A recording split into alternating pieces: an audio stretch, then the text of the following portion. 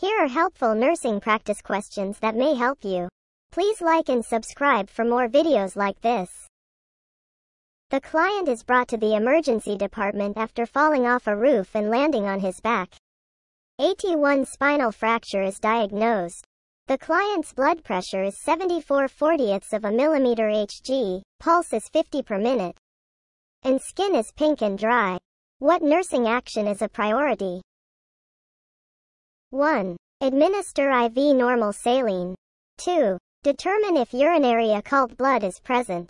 3. Perform a neurological assessment. 4. Verify that there is no stool impaction.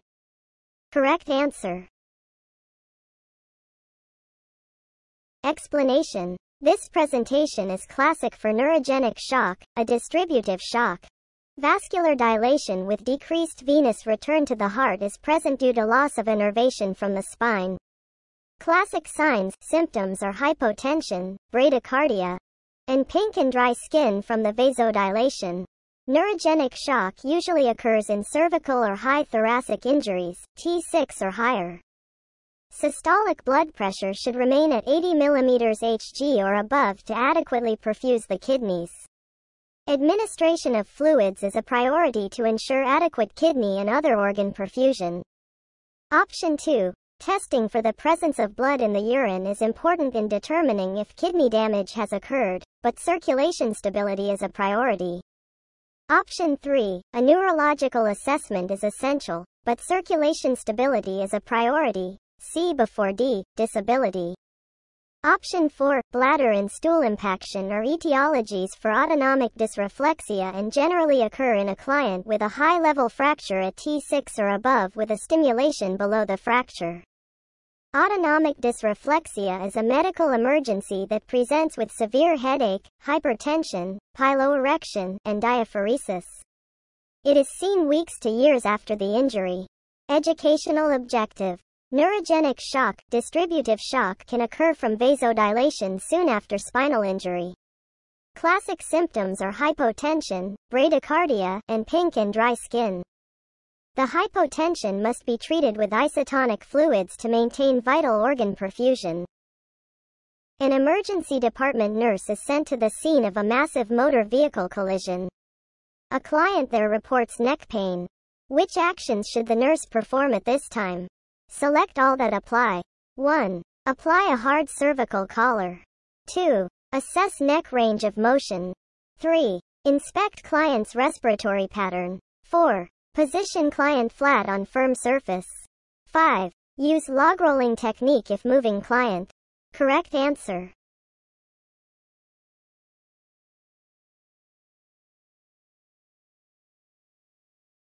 The initial priorities for a client with a suspected cervical spine injury are to ensure a patent airway and immobilize the spine to prevent further injury. This includes applying a rigid hard collar, placing the client on a firm surface, e.g., a backboard, and moving the client as a unit, log rolling, if required, options 1, 4, and 5. A soft foam cervical collar does not provide immobilization. Further stabilization is achieved by taping down the client's head and using straps to immobilize the arms, especially if the client is not cooperating. After immobilizing the client, the nurse should obtain a baseline set of vital signs to monitor for neurogenic shock, e.g., hypotension, bradycardia, poikilothermia, i.e., inability to regulate body temperature. A potential complication of spinal cord injury. The nurse should also assess the client's respiratory rate, pattern, and effort. Presence of abdominal breathing or increased work of breathing may indicate impending loss of airway and require prompt rapid sequence intubation, option 3. Option 2. Movement of the neck, upper extremities should be avoided until cervical spine injury is ruled out with imaging, which is done after the spine is immobilized with a hard collar. Educational objective. The priorities for a client with a suspected cervical spine injury are maintaining a patent airway and spinal immobilization. Interventions include application of a rigid hard collar, placing the client on a firm surface, log rolling the client during movement and transfers, and continued assessment of need for an advanced airway. Which would be the appropriate client criteria for activating a rapid response team at the hospital? Select all that apply. GCS, score of 9 throughout shift. 2. Heart rate remaining at 58 beats per minute for more than 1 hour. 3. Postoperative pain rated at 10. 4. Respiratory rate maintaining an increase to 30 breaths per minute. 5. Sustained change in level of consciousness for 10 minutes.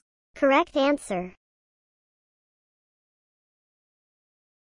The Rapid Response Team is activated to marshal additional experienced and specialized resources for an acute need to try to prevent a client from deterioration into a code, arrest situation.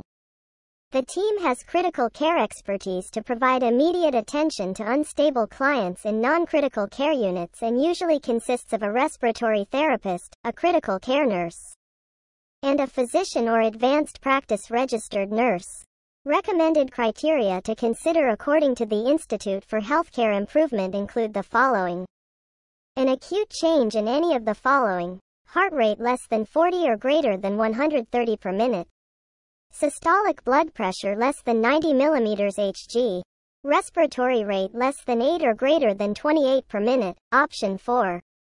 Oxygen saturation less than 90 despite oxygen. Urine output less than 50 milliliters, 4 hour. Level of consciousness, option 5. Option 1, the GCS is abnormal but is stable in the abnormality. A rapid response would be used for a significant deteriorating trend. Option 2. Many clients routinely run a slowed pulse rate, athletes. There is no indication that this is a new change for the client.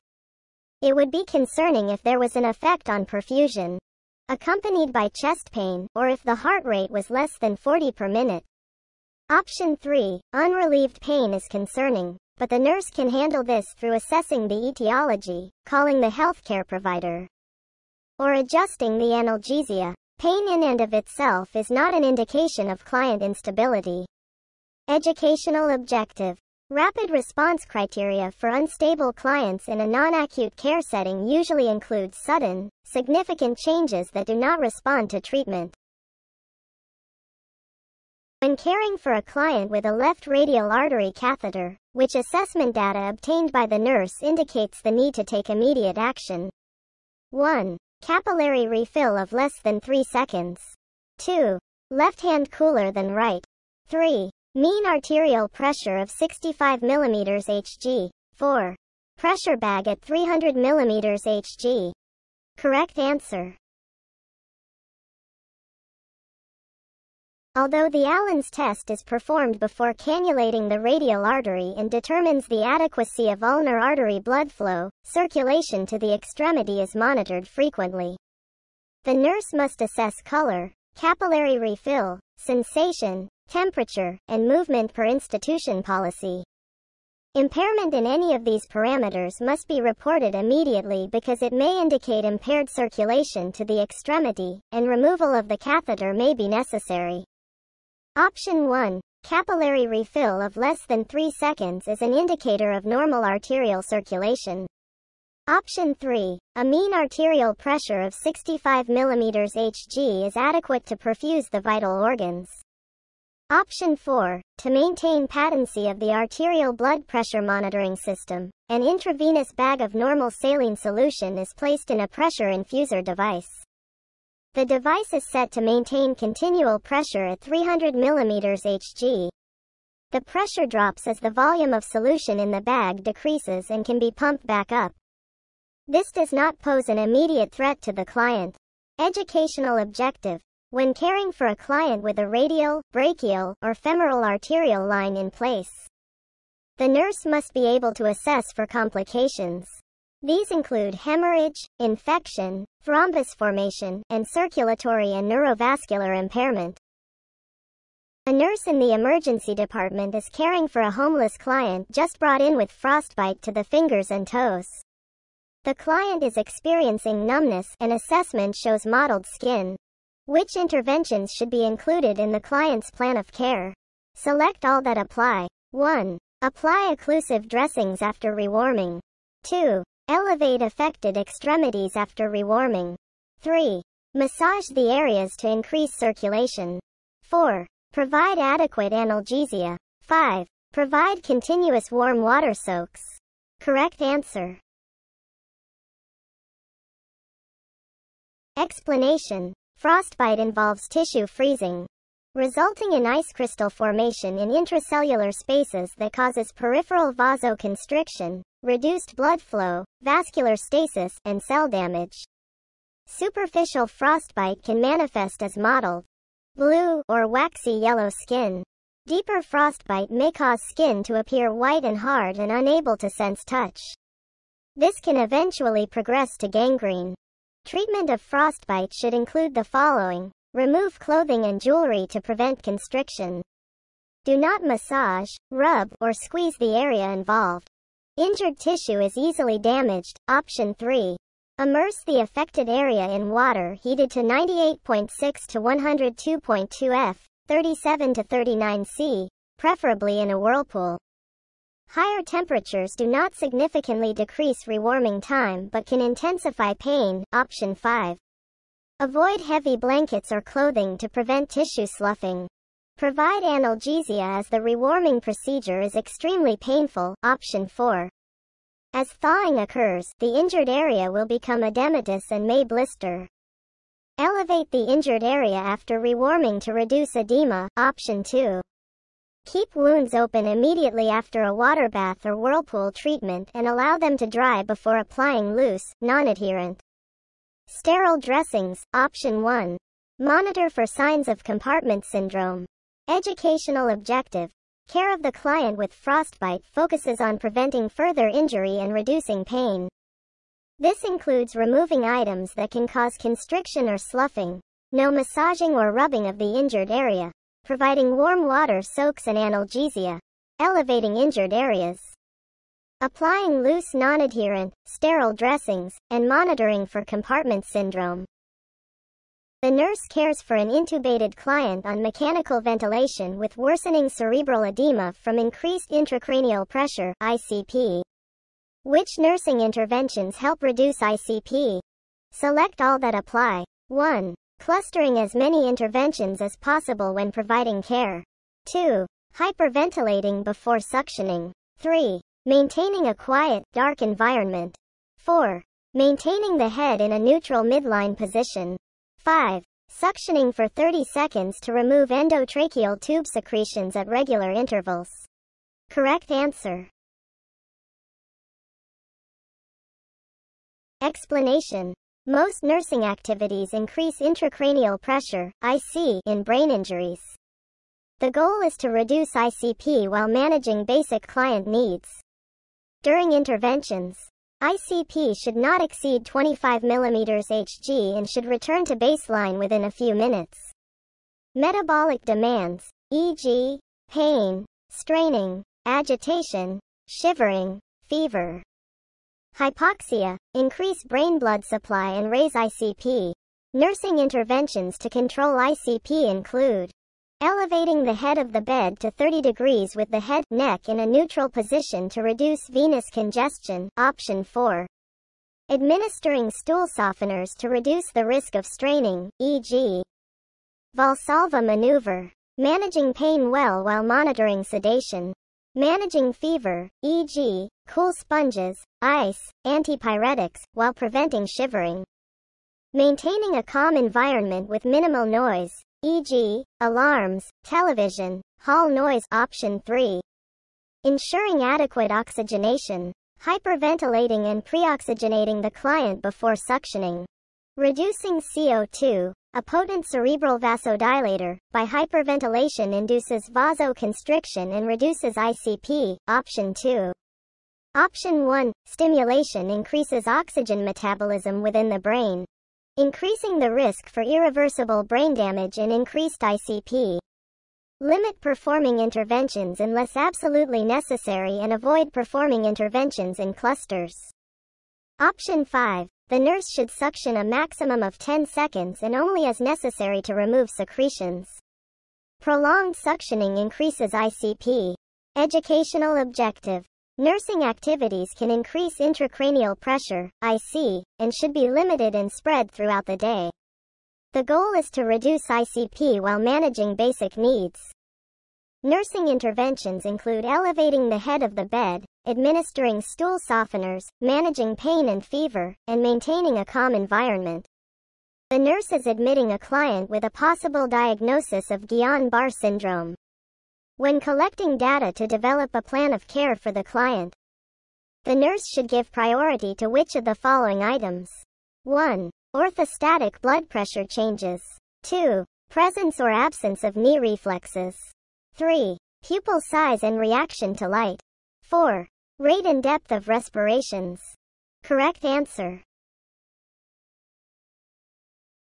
Explanation. Guillain-Barré syndrome, GBS, is an acute, immune-mediated polyneuropathy that is most often accompanied by ascending muscle paralysis and absence of reflexes.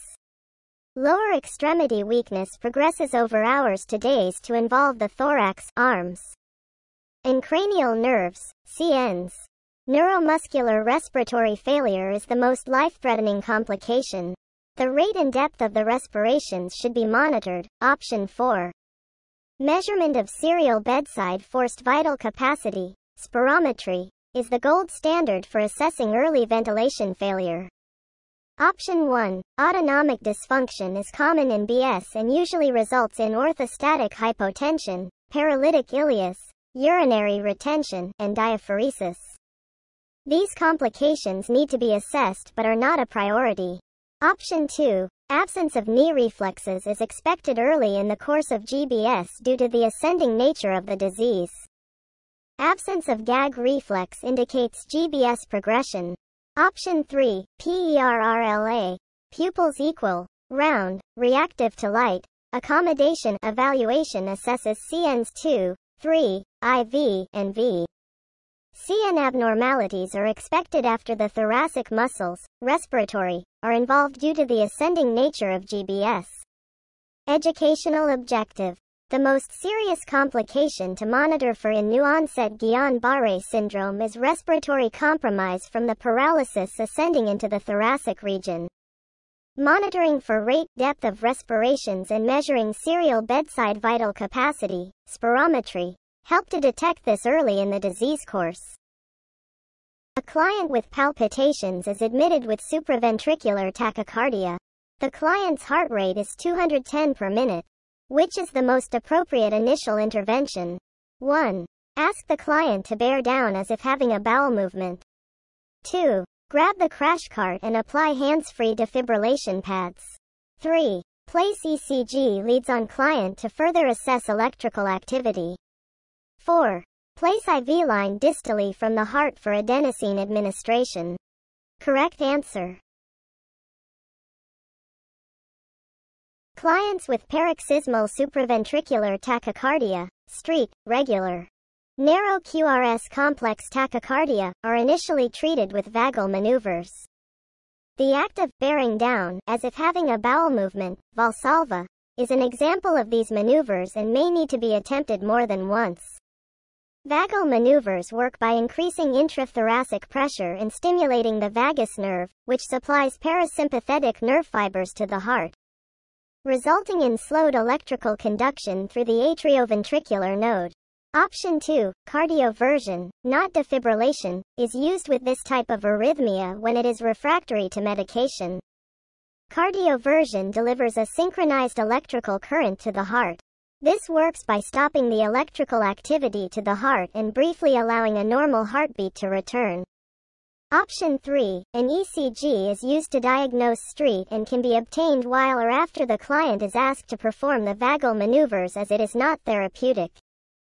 Option 4, adenosine is the drug of choice to treat street and has a 5 to 6 second half-life, the time it takes for the drug to be reduced to half of its original concentration. Placing the IV line as close as possible, not distal, to the heart is essential for the drug to have full effect. Adenosine is given rapidly over 1 to 2 seconds and then followed by a rapid 20 ml normal saline flush. Transient asystole is common, and clients often experience flushing and dizziness. Educational objective. Supraventricular tachycardia is a regular, narrow QRS complex tachycardia with a rate of around 150 to 220 per minute. The best treatment is vagal maneuvers and adenosine IV push. The nurse is supervising a graduate nurse, GN, on a telemetry unit. An assigned client develops asystole with no pulse, and emergency care interventions are initiated. Which action by the GN would cause the supervising nurse to intervene? 1. Administers IV epinephrine. 2. Applies oxygen with bag mask. 3. Initiates chest compressions. 4. Provides defibrillator shock. Correct answer.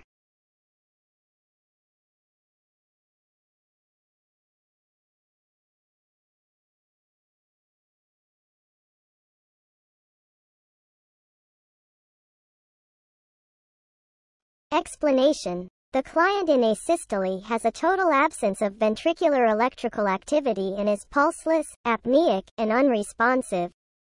The nurse should first verify the monitor reading by assessing the client and palpating for a pulse, and then call for help and initiate emergency care, i.e., CPR, oxygenated ventilation. Defibrillation is not indicated when there is no electrical activity present, i.e., asystole or when the heart muscle is not contracting despite an organized rhythm, i.e., pulseless electrical activity, PEA. Defibrillation attempts to convert lethal ventricular dysrhythmias, i.e., ventricular fibrillation and pulseless ventricular tachycardia, into an organized rhythm by passing an electric shock through the heart. Defibrillation cannot create an organized rhythm if there is no electrical activity in the heart. Option 4. Options 1, 2, and 3. Immediate interventions for asystole and PEA include CPR and oxygenated ventilation.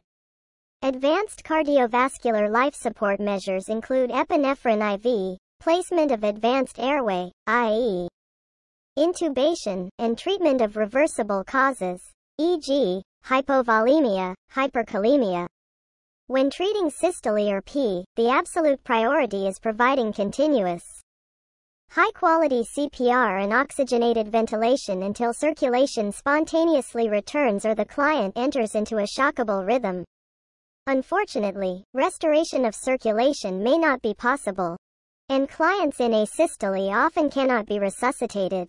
Educational objective Asystole is characterized by a total absence of ventricular electrical activity. The client is pulseless, apneic, and unresponsive. Treatment includes CPR, oxygenated ventilation, and advanced cardiovascular life support measures, e.g., epinephrine IV, advanced airway. Defibrillation is not effective for treatment of asystole or pulseless electrical activity. To obtain accurate continuous blood pressure readings via a radial arterial catheter, the nurse places the air-filled interface of the stopcock at the phlebostatic axis. Where is it located? 1. Angle of Louis at second intercostal space, ICS, to left of sternal border. 2. Aortic area at second ICS to right of sternal border. 3. Level of atria at 4th ICS, 1 half anterior posterior, AP, diameter. 4. 5 THICS at midclavicular line, MCL. Correct answer.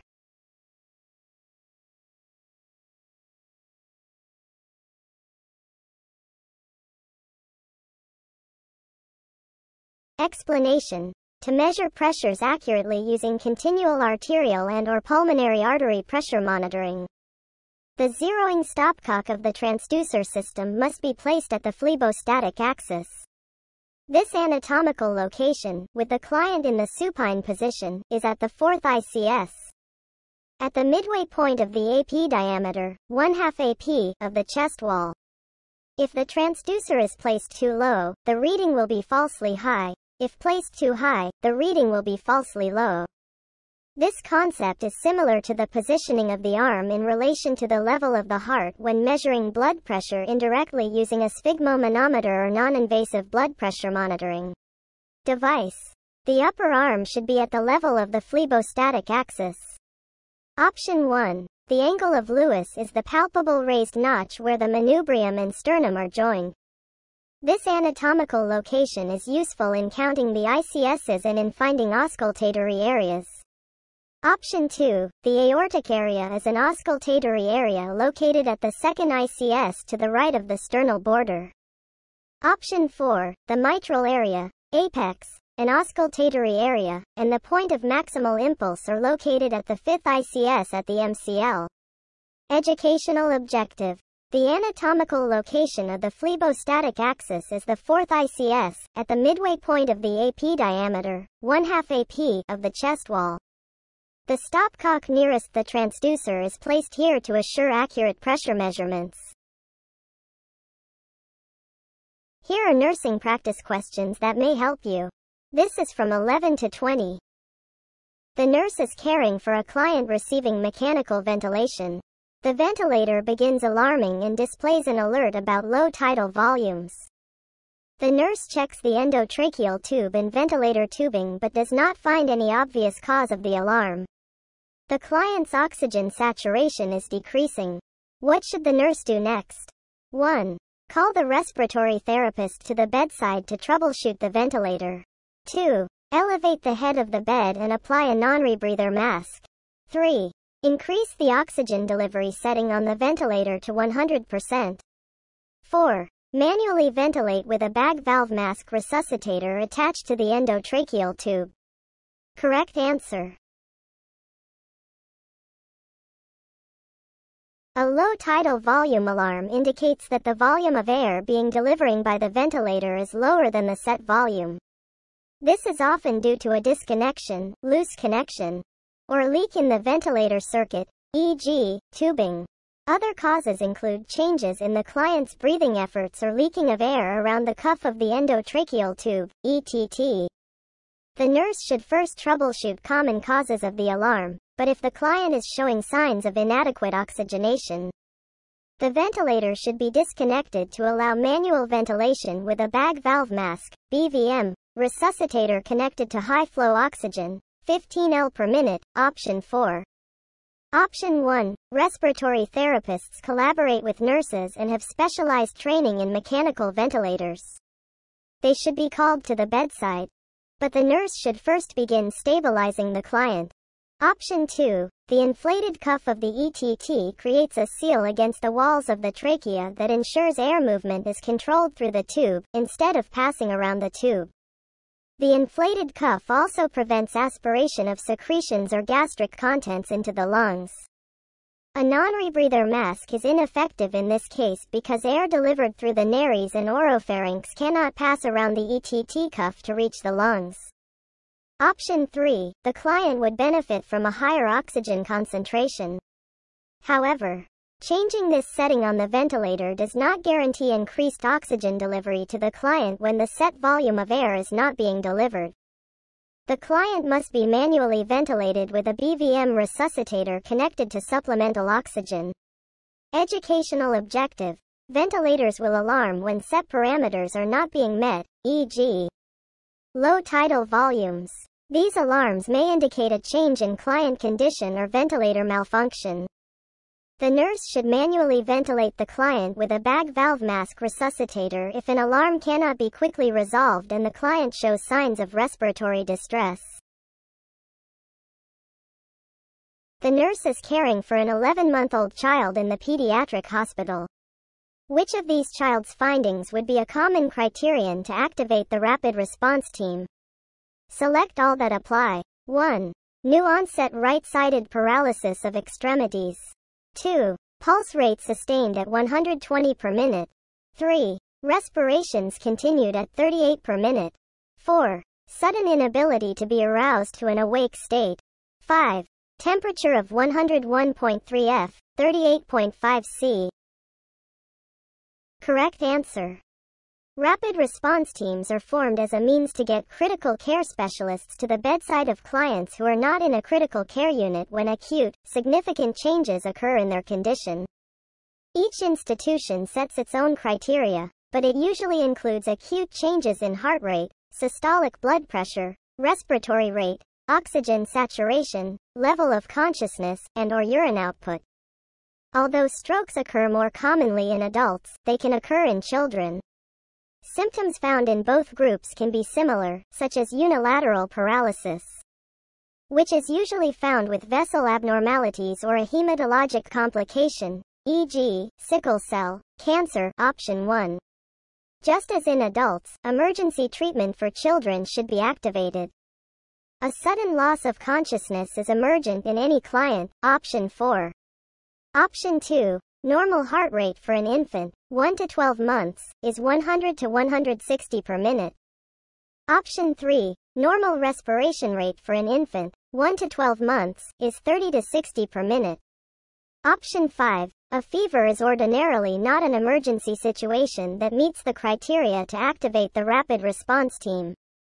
It can signal a serious condition in infants who are age less than one month or in children age less than two years who have a temperature greater than 104 F, 40 C, without a localized source, due to an immature immune system. However, in this case, it would probably be more effective to call a healthcare provider to prescribe appropriate diagnostic tests, e.g., complete blood count, cultures, and treatment, e.g. antibiotics. A fever does not usually require immediate life-saving intervention. Educational objective. Rapid response teams are formed as a means to get critical care assistance to the bedside of clients, not in intensive care, with acute significant changes in their condition.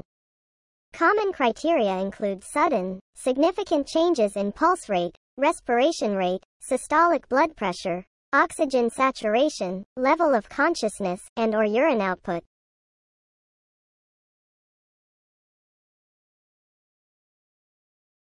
The emergency department nurse is caring for a client who requires gastric lavage for a drug overdose. Which action would be appropriate? 1. Lavage through a small bore nasogastric tube. 2. Place client in Trendelenburg position during lavage. 3. Prepare intubation and suction supplies at the bedside. 4. Wait an hour after gastric decompression to initiate lavage. Correct answer.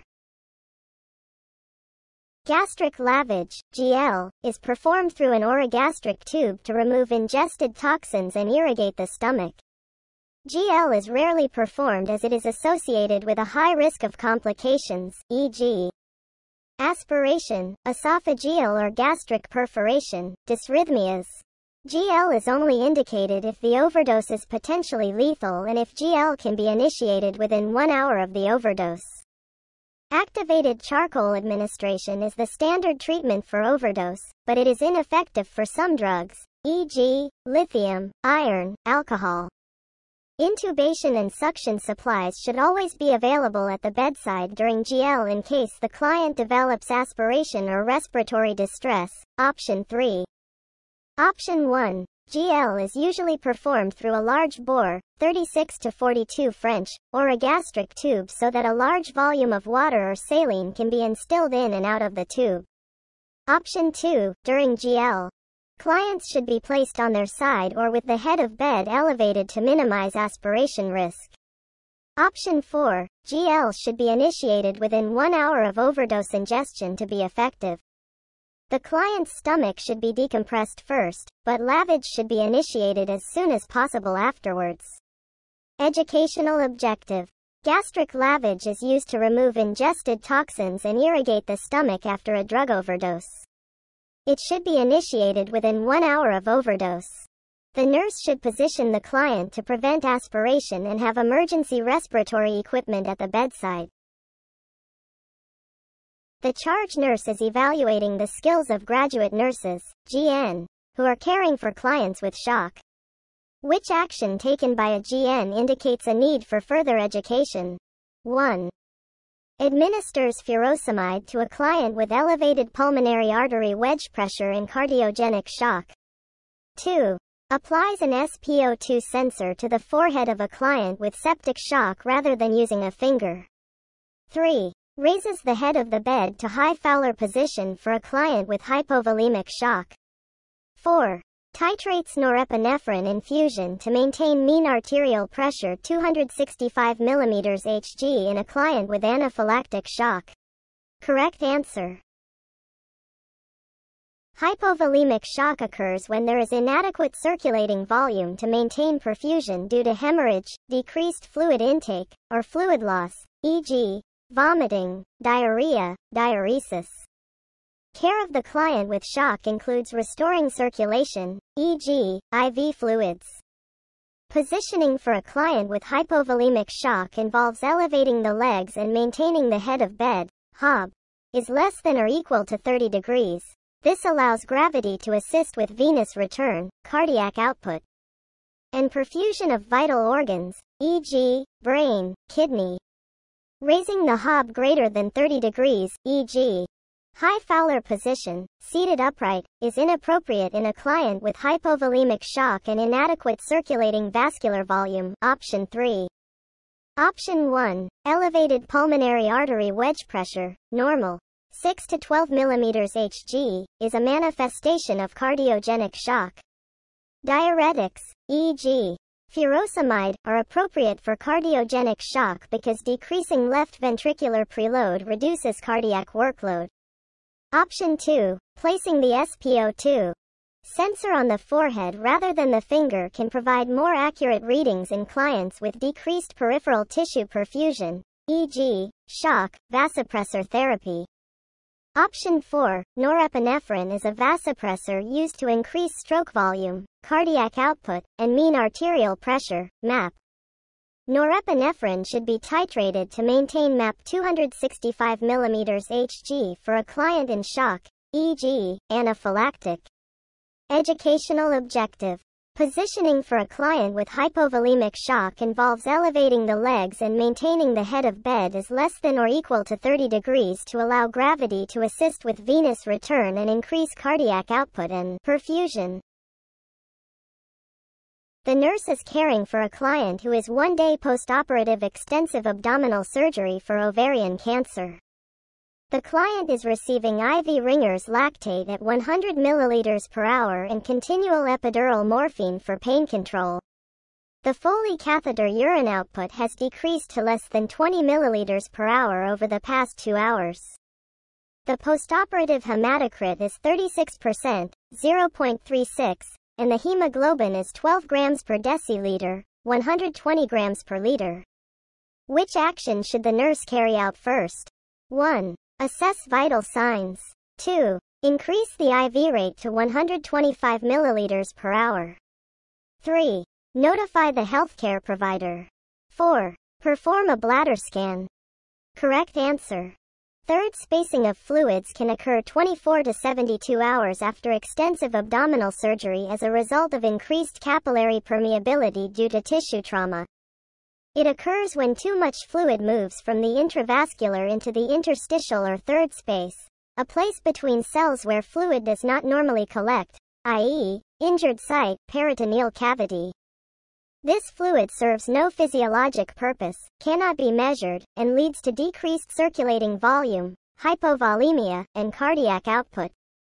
The priority intervention is to assess vital signs as the manifestations associated with third spacing include weight gain, decreased urinary output, and signs of hypovolemia, such as tachycardia and hypotension. If third spacing is not recognized and corrected early on, postoperative hypotension can lead to decreased renal perfusion, prerenal failure, and hypovolemic shock, option 1. Option 2. Increasing the IV flow rate of the isotonic solution may be an appropriate intervention once the nurse has assessed the client, including taking a full set of vital signs. The nurse should intervene only after assessing to rule out other problems for which an increase in IV fluid intake would not be an appropriate solution, e.g., Foley catheter obstruction. Option 3. The nurse will notify the healthcare provider to report oliguria, less than 0.5 milliliters per kilogram per hour, after collecting all of the data necessary, i.e., vital signs. This is not the nurse's first action. Option 4. Urinary retention is possible following surgery due to the adverse effects of anesthesia, opioids, anticholinergic drugs, and immobility. However, a bladder scan is not an appropriate action in this situation as the client has a Foley catheter. Irrigating the catheter is the appropriate intervention if the nurse questions its patency. Educational objective. Third spacing can occur following extensive abdominal surgery and can lead to hypovolemia, decreased cardiac output, hypotension and tachycardia, and decreased urine output. Monitoring vital signs and urine output, and maintaining IV fluids are appropriate interventions to prevent prerenal failure and hypovolemic shock.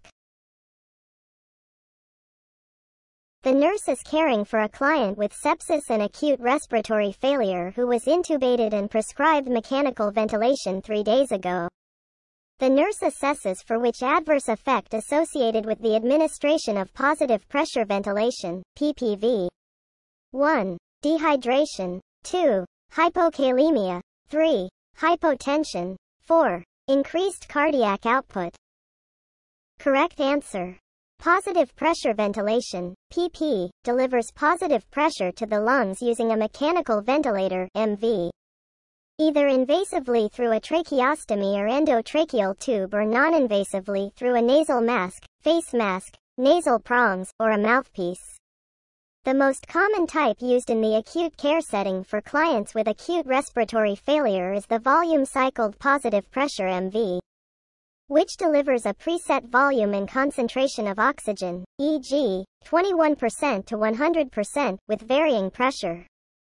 Positive pressure applied to the lungs compresses the thoracic vessels and increases intrathoracic pressure during inspiration. This leads to reduced venous return, ventricular preload, and cardiac output, which results in hypotension. The hypotensive effect of PP is even greater in the presence of hypovolemia, e.g., hemorrhage, hypovolemic shock, and decreased venous tone, e.g., septic shock, neurogenic shock. Option 1. Fluid and or sodium retention usually occurs about 48 to 72 hours after initiation of PP due to 1. Increased intrathoracic pressure and decreased cardiac output that stimulate the kidneys to release renin. 2. Physiologic stress that leads to the release of antidiuretic hormone and cortisol. And 3. Breathing through the ventilator's closed circuitry, which decreases insensible loss associated with respiration. Option 2. Hypokalemia is not associated with PPV. Option 4. PP increases intrathoracic pressure and reduces venous return to the right side of the heart, reducing preload and cardiac output as well. Educational objective. Positive pressure ventilation causes increased intrathoracic pressure and reduced venous return and cardiac output, which can result in hypotension. The emergency department nurse receives a client with extensive injuries to the head and upper back. The nurse will perform what action to allow the best visualization of the airway? 1. Head tilt chin lift in the supine position on a backboard. 2. Head tilt chin lift in the Trendelenburg position. 3. Jaw thrust maneuver in semi-Fowler's position. 4. Jaw thrust maneuver in the supine position on a backboard. Correct answer.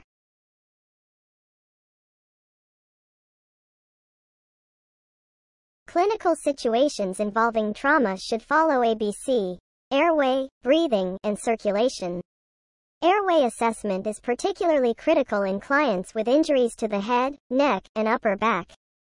Injury to the upper back should be treated as spinal trauma until the client has been cleared by an advanced trauma life support qualified healthcare provider. Until the spine is appropriately assessed, the client should be placed on a backboard and stabilized. The nurse should use the jaw thrust maneuver to avoid movement of an unstable spine. One provider should stabilize the cervical vertebra allowing the second provider to articulate the jaw independently of the spinal column. Option 1. Although use of the backboard is appropriate, the head tilt chin lift should not be used as it involves manipulation of the neck without proper stabilization. If the cervical vertebrae are fractured, the spinal cord could be badly damaged, Option 2. The head tilt chin lift does not stabilize the alignment of the head and neck and can cause spinal cord damage. In addition, the Trendelenburg position causes the abdominal organs to shift toward the diaphragm, which increases the work of breathing. Option 3. The jaw thrust maneuver is appropriate. But stabilization of the spine is best performed in the supine position, such as on the flat, hard surface of a backboard. Educational objective. If there is any suspicion of spinal injury, the jaw thrust maneuver should be used for airway assessment to avoid any shifting of unstable vertebrae and subsequent spinal cord damage. The nurse is caring for an intubated client whose oxygen saturation begins to drop. What action should the nurse take first? 1. Auscultate lung sounds bilaterally. 2. Hyperoxygenate with 100% oxygen. 3. Manually ventilate with bag valve mask. 4. Suction the endotracheal tube. Correct answer. A drop in oxygen saturation signifies a problem with ventilation. When an artificial airway is present, the nurse should assess the client to determine the cause of hypoventilation. Auscultating lung sounds is the first step and quickest intervention to confirm proper tube placement. It is not uncommon for the tube to become displaced in the hypopharynx which would not allow proper ventilation. Another important complication is pneumothorax, which can cause hypotension and a drop in oxygen saturation. Lung auscultation would help diagnose this as well. Option 2. Hyperoxygenating would not increase ventilation if the tube is not in proper position or if the client has a pneumothorax. Option 3. The first step is to confirm tube placement. Manually ventilating through a displaced tube would produce no better results than use of the ventilator. Option 4. Mucus plugs are a common cause of decreased oxygen saturation in the intubated client. There are, however, specific symptoms associated with this problem, including secretions backing up in the tube and high-pressure ventilator alarms. Although this client may still need suctioning even if these symptoms are not present. Auscultating lung sounds is necessary to confirm tube placement before suctioning. Suctioning via a displaced tube could cause additional damage to the client's airway. Educational objective. Proper placement of the endotracheal tube is essential for adequate ventilation in intubated clients. If the tube becomes displaced in the hypopharynx, hypoxemia can result. Confirming the presence of equal breath sounds bilaterally via auscultation is an important initial nursing intervention. The intensive care nurse is caring for a client who has just been extubated. Which interventions are appropriate at this time? Select all that apply. 1. Administer prescribed oral narcotics for throat pain. 2. Administer warmed, humidified oxygen via face mask. 3. Give the client ice chips to moisten the mouth. 4. Provide mouth care with oral sponges. 5. Start the client on incentive spirometer. Correct answer. Recently extubated clients are at high risk for aspiration, airway obstruction, laryngeal edema and or spasm, and respiratory distress. To prevent complications, Clients are placed in high Fowler position to maximize lung expansion and prevent aspiration of secretions. Warmed, humidified oxygen is administered immediately after extubation to provide high concentrations of supplemental oxygen without drying out the mucosa, option 2. Oral care is provided to decrease bacteria and contaminants as well as promote comfort, option 4. Clients are instructed to frequently cough, deep breathe, and use an incentive spirometer to expand alveoli and prevent atelectasis, option 5. Options 1 and 3, clients are kept NPO after extubation to prevent aspiration. They may have either a bedside swallow screen or a more formal swallow evaluation by a speech therapist prior to swallowing any food, drink, or medication. Educational objective. Recently extubated clients are immediately placed on humidified oxygen and monitored for aspiration, airway obstruction, and respiratory distress. Clients should remain NPO until swallowing function has been evaluated. In addition, clients should be given routine oral care as well as instructions on coughing, deep breathing, and use of incentive spirometry. A client is brought to the emergency department after his face slammed into a brick wall during a gang fight. Which client assessment finding is most important for the nurse to consider before inserting a nasogastric tube? 1. An ecchymotic area on the forehead. 2. Frontal headache rated as 10 on a 1 to 10 scale. 3. Nasal drainage until swallowing function has been evaluated. In addition, clients should be given routine oral care as well as instructions on coughing, deep breathing, and use of incentive spirometry. A client is brought to the emergency department after his face slammed into a brick wall during a gang fight. Which client assessment finding is most important for the nurse to consider before inserting a nasogastric tube? 1. An ecchymotic area on the forehead. 2. Frontal headache rated as 10 on a 1 to 10 scale. 3. Nasal drainage on gauze has a red spot surrounded by serous fluid. 4. Small amount of bright red blood oozing from cheek laceration. Correct answer. Cerebrospinal fluid, CS, rhinorrhea, or CSF otorrhea, can confirm that a skull fracture has occurred and transverse the dura. If the drainage is clear, dextrose testing can determine if it is CSF. However, the presence of blood would make this test unreliable as blood also contains glucose.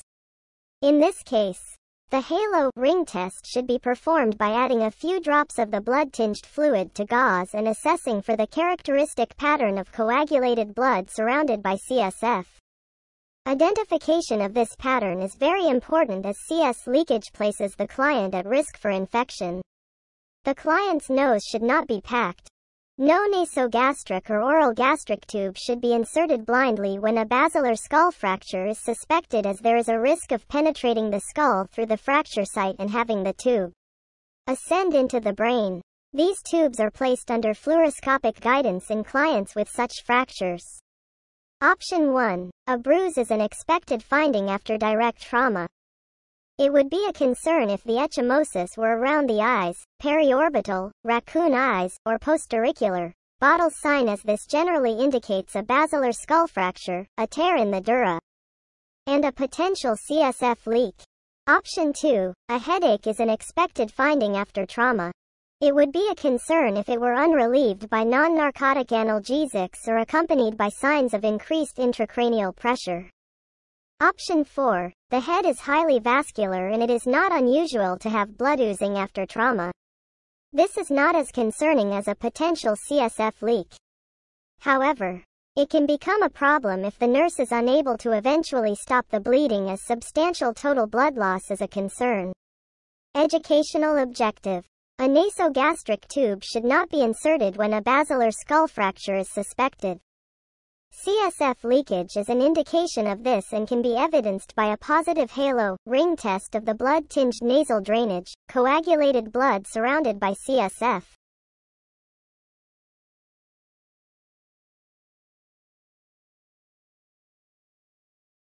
Here are nursing practice questions from 21 to 30. If you haven't subscribed yet, consider supporting my small channel. Thank you. A nurse is caring for an intubated client receiving a continuous sedative infusion.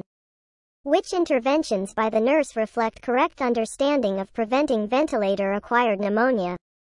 Select all that apply. 1. Elevating the head of the bed 30 to 45 degrees. 2. Performing hourly inline endotracheal suctioning. 3. Practicing strict hand hygiene. 4. Providing frequent oral care with chlorhexidine. 5. Scheduling daily sedation vacations. Correct answer. Mechanically ventilated clients are at risk for developing ventilator-associated pneumonia, VAP, due to sedation and impairment of natural defenses, like coughing, by artificial airways. Interventions to reduce the risk of VAP include elevating the head of the bed 30 to 45 degrees, like Semi-Fowler position, option 1. Providing oral care with antiseptic solutions, like chlorhexidine mouthwash, and suctioning subglottic secretions, option 4. Performing scheduled daily sedation vacations and maintaining appropriate client sedation levels, option 5. Practicing strict hand hygiene. Option 3. Option 2. Endotracheal suctioning should be performed only when clinically indicated, like adventitious breath sounds, coughing. Elevated peak airway pressure. Frequent suctioning increases the risk for tracheal and bronchial trauma, bleeding, and hypoxia. Educational objective. Mechanically ventilated clients are at risk for developing ventilator-associated pneumonia, VAP, due to sedation and use of an artificial airway. VAP prevention includes elevating the head of the bed 30 to 45 degrees, providing regular oral hygiene with chlorhexidine solution, practicing strict hand hygiene, and performing daily sedation vacations. Emergency medical service personnel are transporting a near-drowning victim who is currently hypothermic. Based on anticipated vital signs, the nurse needs to prepare for which interventions. Select all that apply. 1. Covering client with warm blankets. 2. Log rolling the client from side to side frequently. 3. Mechanical ventilation. 4. Warmed blood administration. 5. Warmed IV fluids. Correct answer. The initial management of a near-drowning victim focuses on airway management due to potential aspiration, leading to acute respiratory distress syndrome, pulmonary edema, or bronchospasm, leading to airway obstruction. Hypoxia is managed and prevented by ensuring a patent airway via intubation and mechanical ventilation as necessary. Option 3. Careful handling of the hypothermic client is important because as the core temperature decreases, the cold myocardium becomes extremely irritable. Frequent turning could cause spontaneous ventricular fibrillation and should not be performed during the acute stage of hypothermia. Continuous cardiac monitoring should be initiated. Option 2. There are passive, active external, and active internal rewarming methods. Passive rewarming methods include removing the client's wet clothing, providing dry clothing, and applying warm blankets. Active external rewarming involves using heating devices or warm water immersion. Active internal rewarming is used for moderate to severe hypothermia and involves administering warmed IV fluids and warm humidified oxygen, options 1 and 5. Option 4, unless blood loss has occurred from trauma during the near-drowning incident, administration of blood products is not indicated. Educational objective. Emergency department care of near-drowning victims includes advanced airway management, aggressive oxygenation, establishing IV access and administering IV fluids, warmed if hypothermic, and monitoring for cardiac arrhythmias and fluid imbalances. The nurse is caring for a client in the immediate postoperative period following an exploratory laparotomy after sustaining a gunshot wound to the abdomen. Which assessment finding is most important for the nurse to report to the healthcare provider? 1. Cold and clammy skin. 2. Oxygen saturation of 92%. 3. Sinus tachycardia of 108 per minute. 4. Urine output of 0.6 milliliters per kilogram per hour. Correct answer. Hypovolemic, hemorrhagic, shock may occur after abdominal trauma or surgery as mesenteric edema resolves and previously compressed sites of bleeding reopen. The shock continuum is staged in severity from initial, I, to irreversible, IV. During the initial stage, there is inadequate oxygen to supply the demand at the cellular level and anaerobic metabolism develops. At this point, there may be no recognizable signs or symptoms. As shock progresses to the compensatory stage, sympathetic compensatory mechanisms are activated to maintain homeostasis, like oxygenation, cardiac output. Cold, clammy skin indicates failing compensatory mechanisms, like progressive stage, and immediate intervention is necessary to prevent irreversible shock and death. Option 1.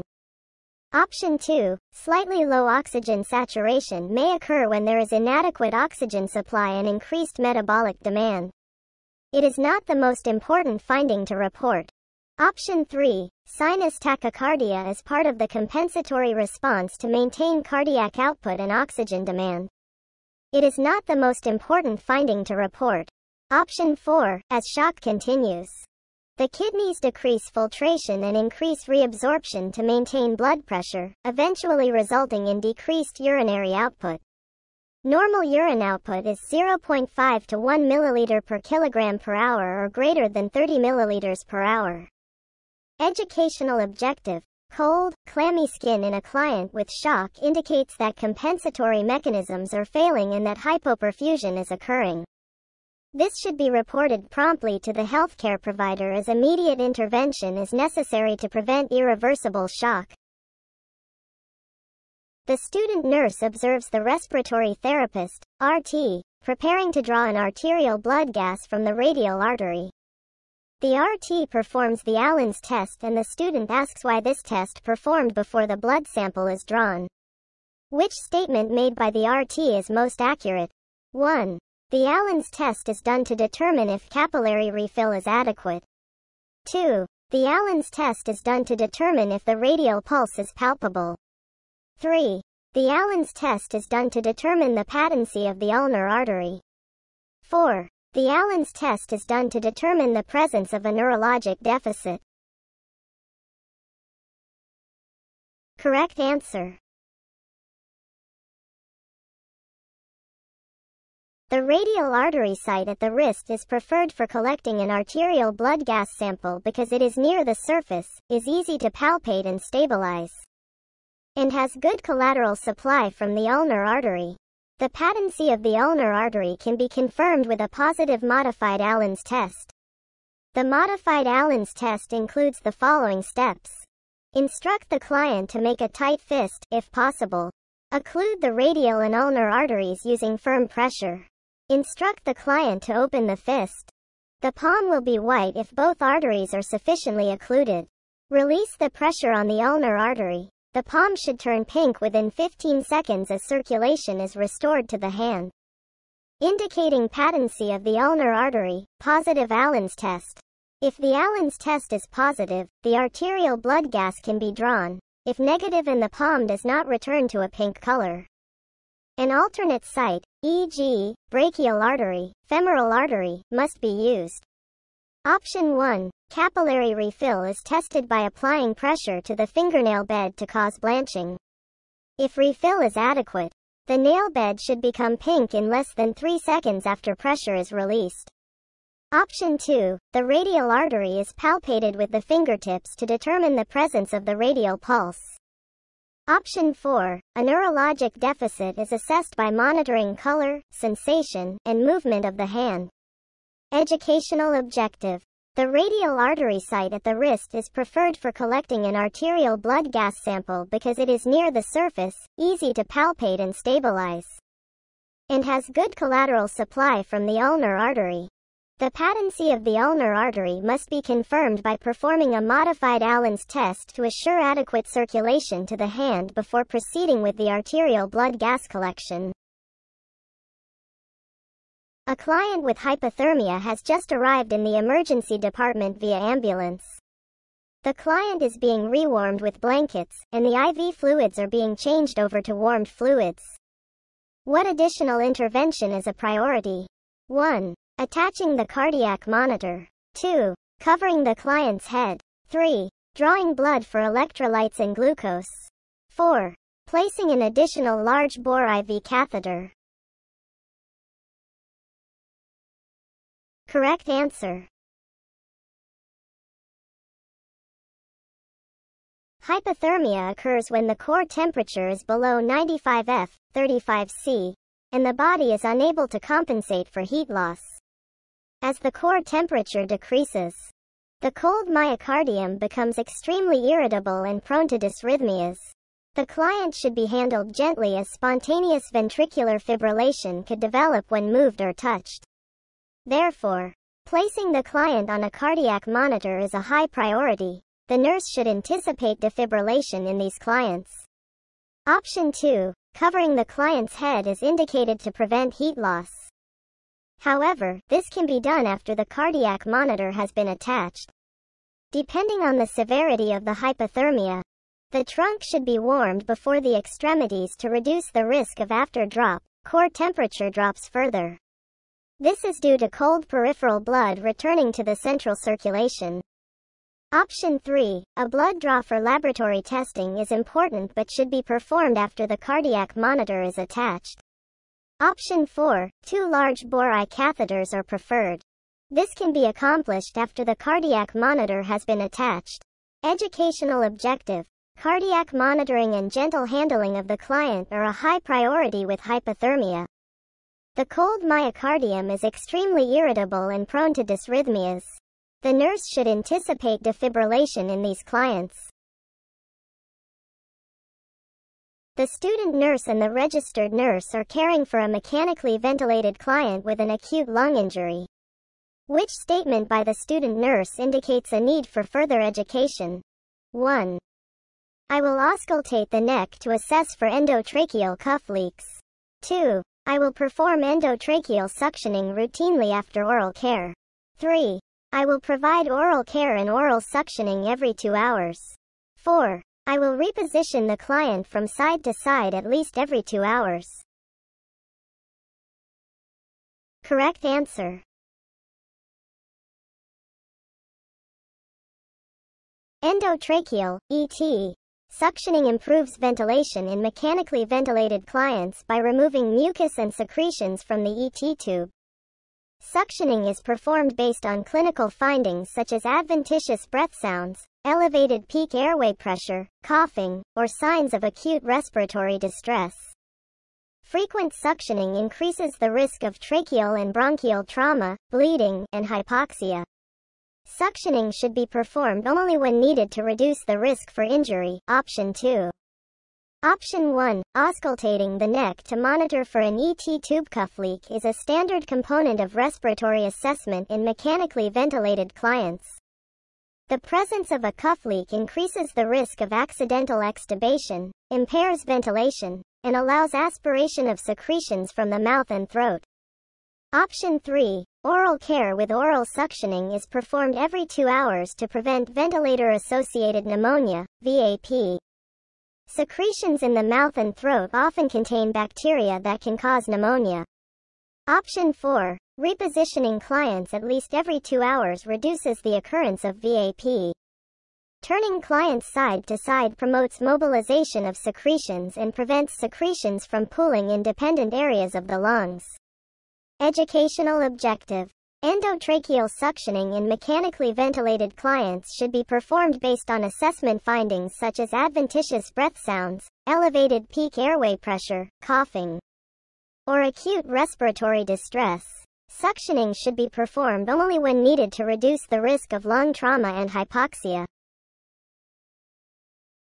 The flight nurse assesses an alert and oriented client at an industrial accident scene who was impaled in the abdomen by a pair of scissors. Which nursing action is the immediate priority on arrival at the scene? 1. Insert a large bore IV line and infuse normal saline. 2. Obtain blood for type and cross-match in hemoglobin. 3. Remove constrictive clothing to enhance circulation.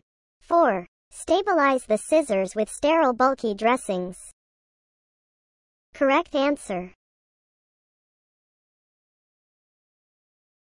A sharp object that pierces the skin and lodges in the body may result in penetrating trauma to nearby tissue and organs.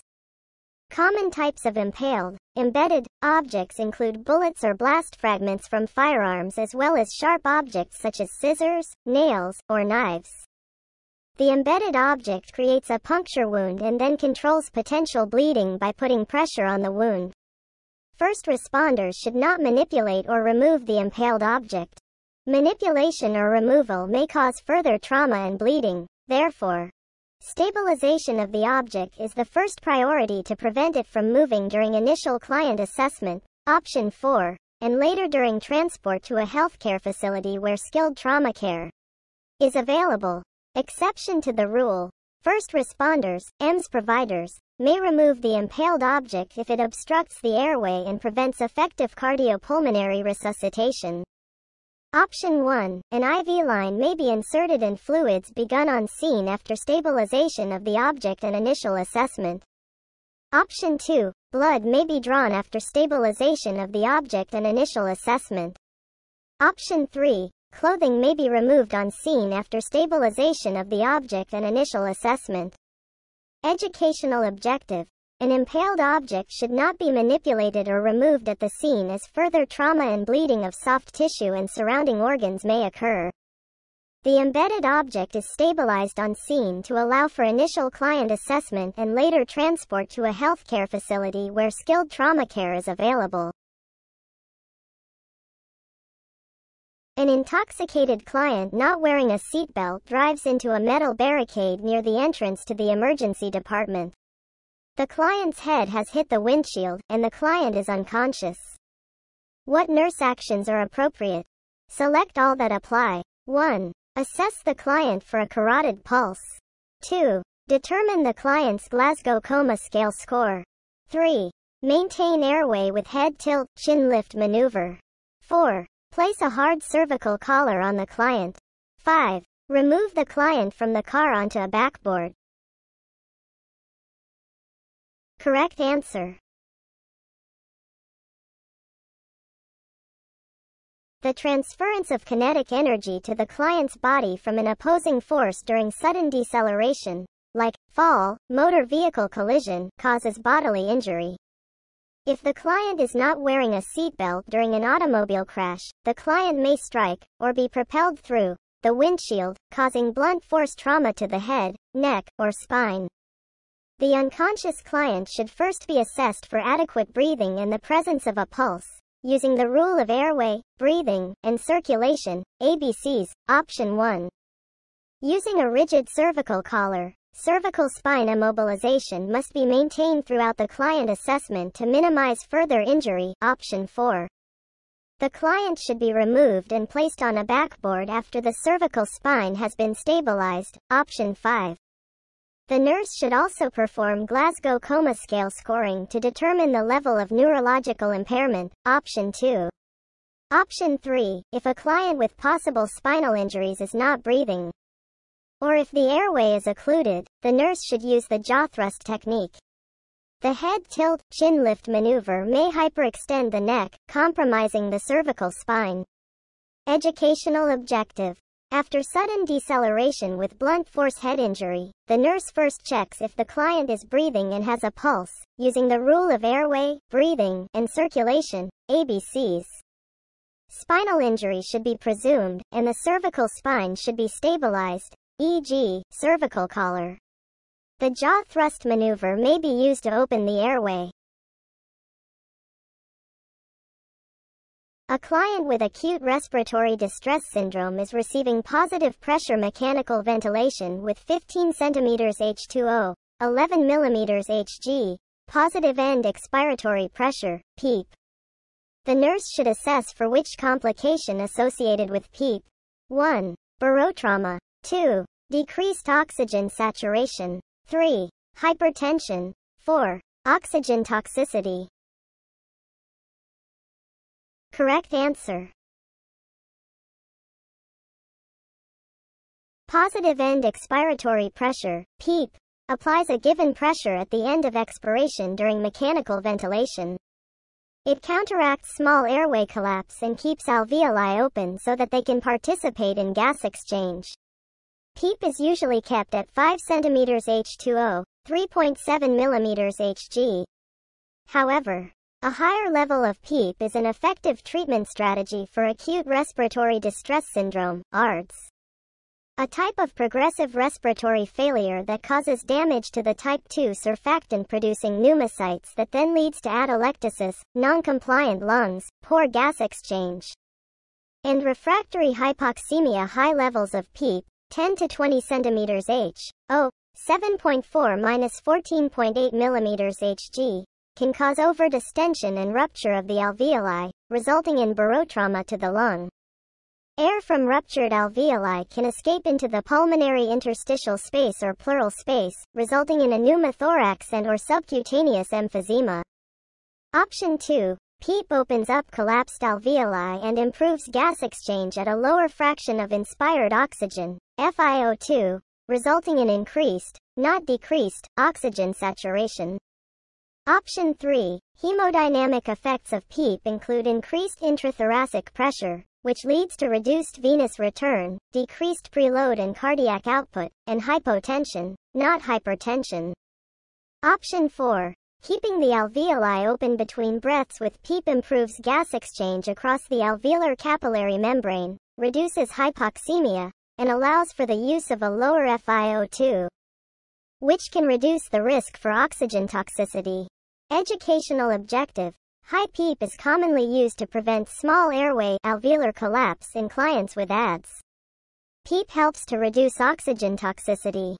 However, high levels of PEEP, 10-20 cm H2O, 7.4-14.8 mm Hg, can cause barotrauma to the lung, resulting in a pneumothorax, and decreased venous return causes hypotension. The nurse is caring for a client receiving mechanical ventilation. The ventilator begins alarming and displays an alert about low tidal volumes. The nurse checks the endotracheal tube and ventilator tubing but does not find any obvious cause of the alarm. The client's oxygen saturation is decreasing. What should the nurse do next? 1. Call the respiratory therapist to the bedside to troubleshoot the ventilator. 2. Elevate the head of the bed and apply a non-rebreather mask. 3. Increase the oxygen delivery setting on the ventilator to 100%. 4. Manually ventilate with a bag valve mask resuscitator attached to the endotracheal tube. Correct answer. A low tidal volume alarm indicates that the volume of air being delivering by the ventilator is lower than the set volume. This is often due to a disconnection, loose connection, or leak in the ventilator circuit, like tubing. Other causes include changes in the client's breathing efforts or leaking of air around the cuff of the endotracheal tube, ETT. The nurse should first troubleshoot common causes of the alarm, but if the client is showing signs of inadequate oxygenation, the ventilator should be disconnected to allow manual ventilation with a bag valve mask, BVM, resuscitator connected to high flow oxygen, 15 L per minute, option 4. Option 1. Respiratory therapists collaborate with nurses and have specialized training in mechanical ventilators. They should be called to the bedside. But the nurse should first begin stabilizing the client. Option 2. The inflated cuff of the ETT creates a seal against the walls of the trachea that ensures air movement is controlled through the tube, instead of passing around the tube. The inflated cuff also prevents aspiration of secretions or gastric contents into the lungs. A non-rebreather mask is ineffective in this case because air delivered through the nares and oropharynx cannot pass around the ETT cuff to reach the lungs. Option 3. The client would benefit from a higher oxygen concentration. However, Changing this setting on the ventilator does not guarantee increased oxygen delivery to the client when the set volume of air is not being delivered. The client must be manually ventilated with a BVM resuscitator connected to supplemental oxygen. Educational objective. Ventilators will alarm when set parameters are not being met, like low tidal volumes. These alarms may indicate a change in client condition or ventilator malfunction. The nurse should manually ventilate the client with a bag valve mask resuscitator if an alarm cannot be quickly resolved and the client shows signs of respiratory distress. Tune in for the next video. 31 to 40 nursing practice questions. Like, comment and subscribe. Here are RN practice questions from 31 to 40. Please consider subscribing my channel if you haven't. An emergency department nurse is sent to the scene of a massive motor vehicle collision. A client there reports neck pain. Which actions should the nurse perform at this time? Select all that apply. 1. Apply a hard cervical collar. 2. Assess neck range of motion. 3. Inspect client's respiratory pattern. 4. Position client flat on firm surface. 5. Use log rolling technique if moving client. Correct answer. The initial priorities for a client with a suspected cervical spine injury are to ensure a patent airway and immobilize the spine to prevent further injury. This includes applying a rigid hard collar, placing the client on a firm surface, like backboard, and moving the client as a unit, log rolling, if required, options 1, 4, and 5. A soft foam cervical collar does not provide immobilization, Further stabilization is achieved by taping down the client's head and using straps to immobilize the arms, especially if the client is not cooperating. After immobilizing the client, the nurse should obtain a baseline set of vital signs to monitor for neurogenic shock, like hypotension, bradycardia, poikilothermia, like inability to regulate body temperature. A potential complication of spinal cord injury the nurse should also assess the client's respiratory rate, pattern, and effort. Presence of abdominal breathing or increased work of breathing may indicate impending loss of airway and require prompt rapid sequence intubation, option 3. Option 2. Movement of the neck, upper extremities should be avoided until cervical spine injury is ruled out with imaging, which is done after the spine is immobilized with a hard collar. Educational objective. The priorities for a client with a suspected cervical spine injury are maintaining a patent airway and spinal immobilization. Interventions include application of a rigid hard collar, placing the client on a firm surface, log rolling the client during movement and transfers, and continued assessment of need for an advanced airway. The intensive care nurse is caring for a client who has just been extubated. Which interventions are appropriate at this time? Select all that apply. 1. Administer prescribed oral narcotics for throat pain. 2. Administer warmed, humidified oxygen via face mask. 3. Give the client ice chips to moisten the mouth. 4. Provide mouth care with oral sponges. 5. Start the client on incentive spirometer. Correct answer. Recently extubated clients are at high risk for aspiration, airway obstruction, laryngeal edema and or spasm, and respiratory distress. To prevent complications, clients are placed in high Fowler position to maximize lung expansion and prevent aspiration of secretions. Warmed, Humidified oxygen is administered immediately after extubation to provide high concentrations of supplemental oxygen without drying out the mucosa, option 2. Oral care is provided to decrease bacteria and contaminants as well as promote comfort, option 4. Clients are instructed to frequently cough, deep breathe, and use an incentive spirometer to expand alveoli and prevent atelectasis, option 5. Options 1 and 3, clients are kept NPO after extubation to prevent aspiration. They may have either a bedside swallow screen or a more formal swallow evaluation by a speech therapist prior to swallowing any food, drink, or medication. Educational objective. Recently extubated clients are immediately placed on humidified oxygen and monitored for aspiration, airway obstruction, and respiratory distress. Clients should remain NPO until swallowing function has been evaluated. In addition, clients should be given routine oral care as well as instructions on coughing, deep breathing, and use of incentive spirometry. The nurse is caring for a client who had a near drowning accident in cold weather. Which assessment finding indicates the most severe injury? 1. Decreased body temperature. 2. Toes pointed straight down. 3. Weak and thready pulse. 4. Wheezing on auscultation. Correct answer.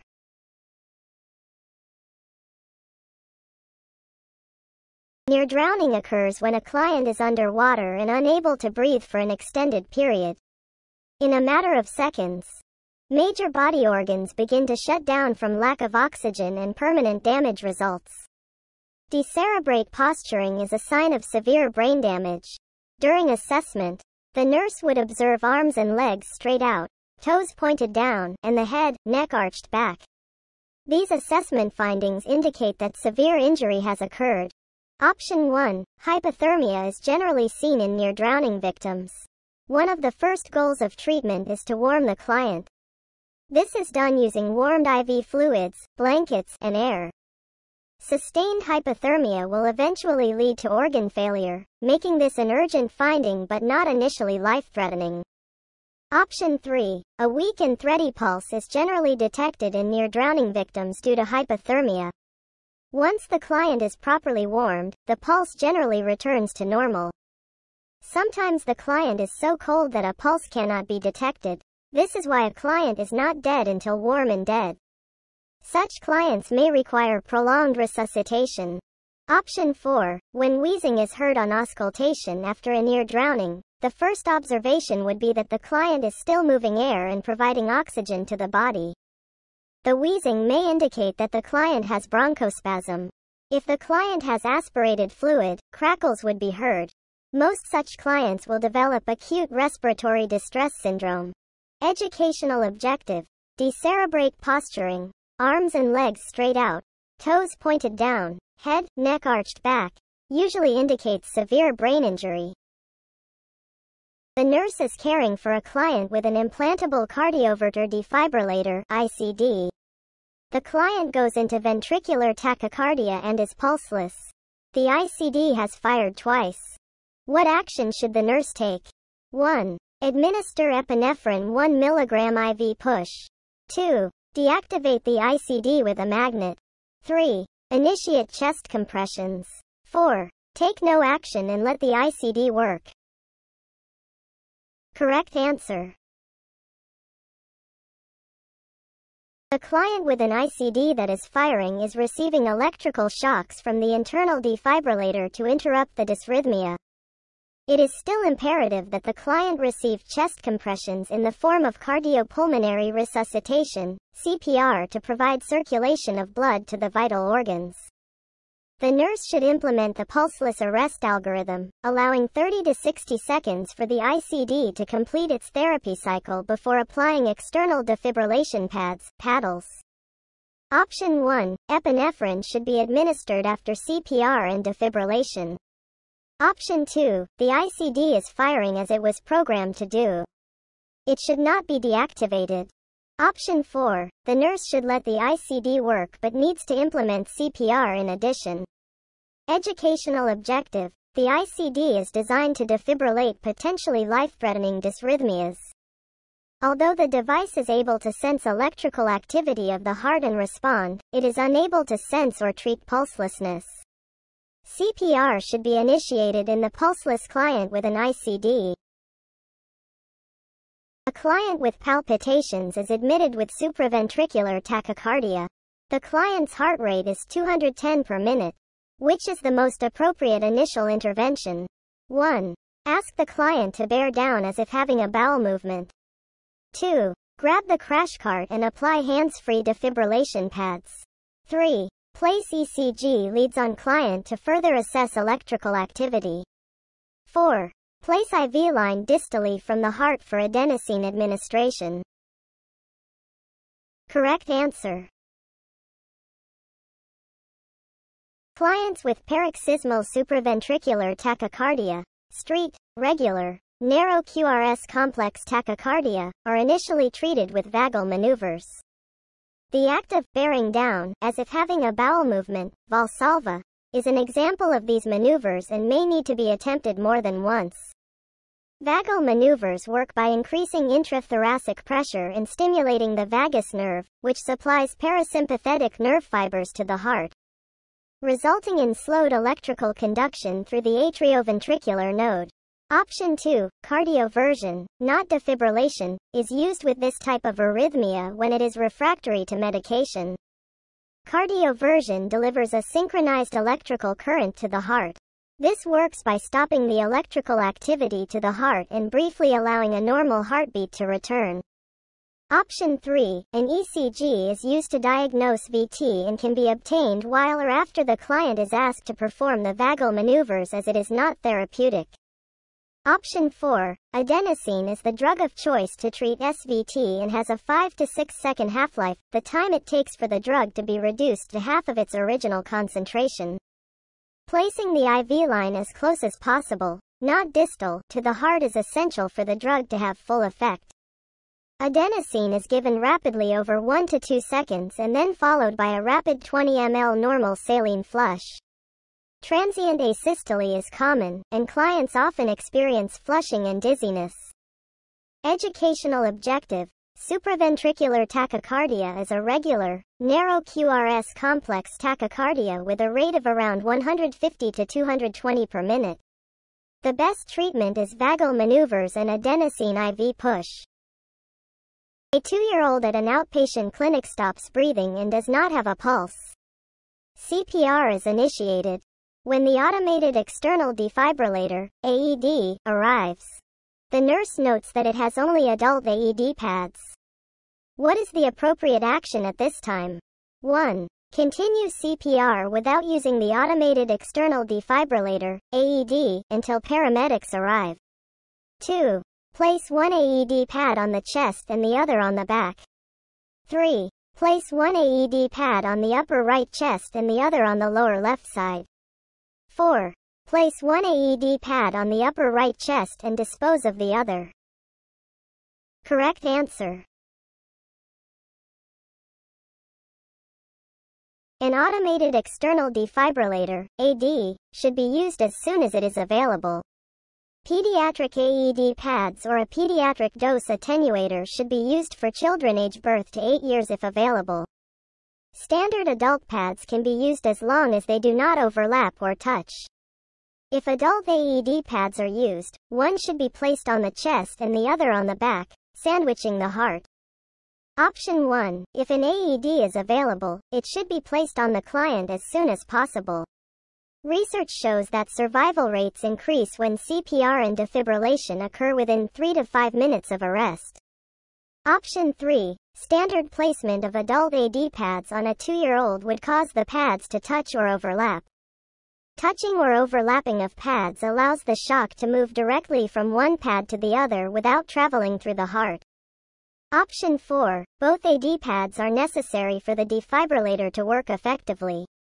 Educational objective. An automated external defibrillator, AED, should be used as soon as it is available. Adult AED pads can be used on a pediatric client if pediatric pads are unavailable. One pad is placed on the chest and the other is placed on the back, sandwiching the heart. The emergency department nurse is caring for a client who requires gastric lavage for a drug overdose. Which action would be appropriate? 1. Lavage through a small bore nasogastric tube. 2. Place client in Trendelenburg position during lavage. 3. Prepare intubation and suction supplies at the bedside. 4. Wait an hour after gastric decompression to initiate lavage. Correct answer. Gastric lavage, GL, is performed through an orogastric tube to remove ingested toxins and irrigate the stomach. GL is rarely performed as it is associated with a high risk of complications, like aspiration, esophageal or gastric perforation, dysrhythmias. GL is only indicated if the overdose is potentially lethal and if GL can be initiated within one hour of the overdose. Activated charcoal administration is the standard treatment for overdose, but it is ineffective for some drugs, like lithium, iron, alcohol. Intubation and suction supplies should always be available at the bedside during GL in case the client develops aspiration or respiratory distress. Option 3.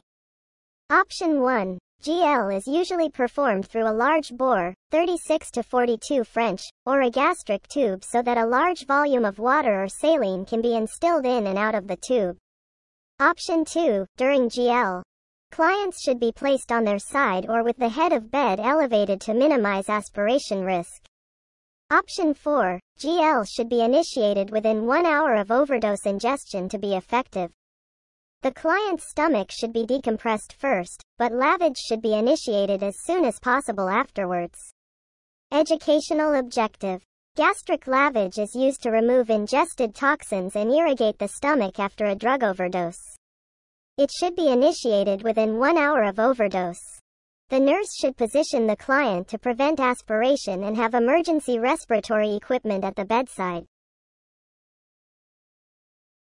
The nurse is supervising a graduate nurse, GN, on a telemetry unit. An assigned client develops asystole with no pulse, and emergency care interventions are initiated. Which action by the GN would cause the supervising nurse to intervene? 1. Administers IV epinephrine. 2. Applies oxygen with bag mask. 3. Initiates chest compressions. 4. Provides defibrillator shock. Correct answer. The client in asystole has a total absence of ventricular electrical activity and is pulseless, apneic, and unresponsive. The nurse should first verify the monitor reading by assessing the client and palpating for a pulse, and then call for help and initiate emergency care, like CPR, oxygenated ventilation. Defibrillation is not indicated when there is no electrical activity present, like asystole, or when the heart muscle is not contracting despite an organized rhythm, like pulseless electrical activity, PEA. Defibrillation attempts to convert lethal ventricular dysrhythmias, like ventricular fibrillation and pulseless ventricular tachycardia, into an organized rhythm by passing an electric shock through the heart. Defibrillation cannot create an organized rhythm if there is no electrical activity in the heart. Option 4. Options 1, 2, and 3. Immediate interventions for asystole and PEA include CPR and oxygenated ventilation. Advanced cardiovascular life support measures include epinephrine IV, placement of advanced airway, like intubation, and treatment of reversible causes, like hypovolemia, hyperkalemia. When treating systole or PEA, the absolute priority is providing continuous, high-quality CPR and oxygenated ventilation until circulation spontaneously returns or the client enters into a shockable rhythm. Unfortunately, restoration of circulation may not be possible, and clients in asystole often cannot be resuscitated. Educational objective. Asystole is characterized by a total absence of ventricular electrical activity. The client is pulseless, apneic, and unresponsive. Treatment includes CPR, oxygenated ventilation, and advanced cardiovascular life support measures, like epinephrine IV, advanced airway. Defibrillation is not effective for treatment of systole or pulseless electrical activity. The nurse is caring for a client on a mechanical ventilator. The settings on the ventilator have just been changed. And the standing prescription is to draw arterial blood gases 30 minutes after a ventilator change. In anticipation of this blood draw, what intervention should the nurse implement? 1. Avoid suctioning the client. 2. Pre-oxygenate the client. 3. Raise the head of the bed. 4. Reduce the amount of sedation medication. Correct answer. Arterial blood gases, ABGs, indicate the acid-base balance in the body and how well oxygen is being carried to the tissues. It is common to measure ABGs after a ventilator change to assess how well the client has tolerated it. Factors such as changes in the client's activity level or oxygen settings or suctioning within 20 minutes prior to the blood draw can cause inaccurate results. Unless the client's condition dictates otherwise. The nurse should avoid suctioning as it will deplete the client's oxygen level and cause inaccurate test results. Option 2. Pre-oxygenation should occur prior to suctioning and possibly before position changes. It will affect ABG results. Option 3. The head of the bed should be maintained at 30 degrees or higher in an intubated client to prevent aspiration and allow for adequate chest expansion. This position will not affect ABG results. Option 4. If a client is being weaned from the ventilator, sedation may be reduced. A client with reduced sedation may become anxious and have an increased activity level. These could affect the ABG results. Educational objective. If the client's condition allows, the nurse should avoid suctioning or changing activity or oxygenation levels prior to drawing of ABGs. These actions can result in inaccurate ABG results. When caring for a client with a left radial artery catheter, which assessment data obtained by the nurse indicates the need to take immediate action. 1. Capillary refill of less than 3 seconds. 2. Left hand cooler than right. 3. Mean arterial pressure of 65 mm Hg. 4. Pressure bag at 300 mm Hg. Correct answer. Although the Allen's test is performed before cannulating the radial artery and determines the adequacy of ulnar artery blood flow, circulation to the extremity is monitored frequently. The nurse must assess color, capillary refill, sensation, temperature, and movement per institution policy. Impairment in any of these parameters must be reported immediately because it may indicate impaired circulation to the extremity, and removal of the catheter may be necessary. Option 1. Capillary refill of less than 3 seconds is an indicator of normal arterial circulation. Option 3. A mean arterial pressure of 65 mm Hg is adequate to perfuse the vital organs.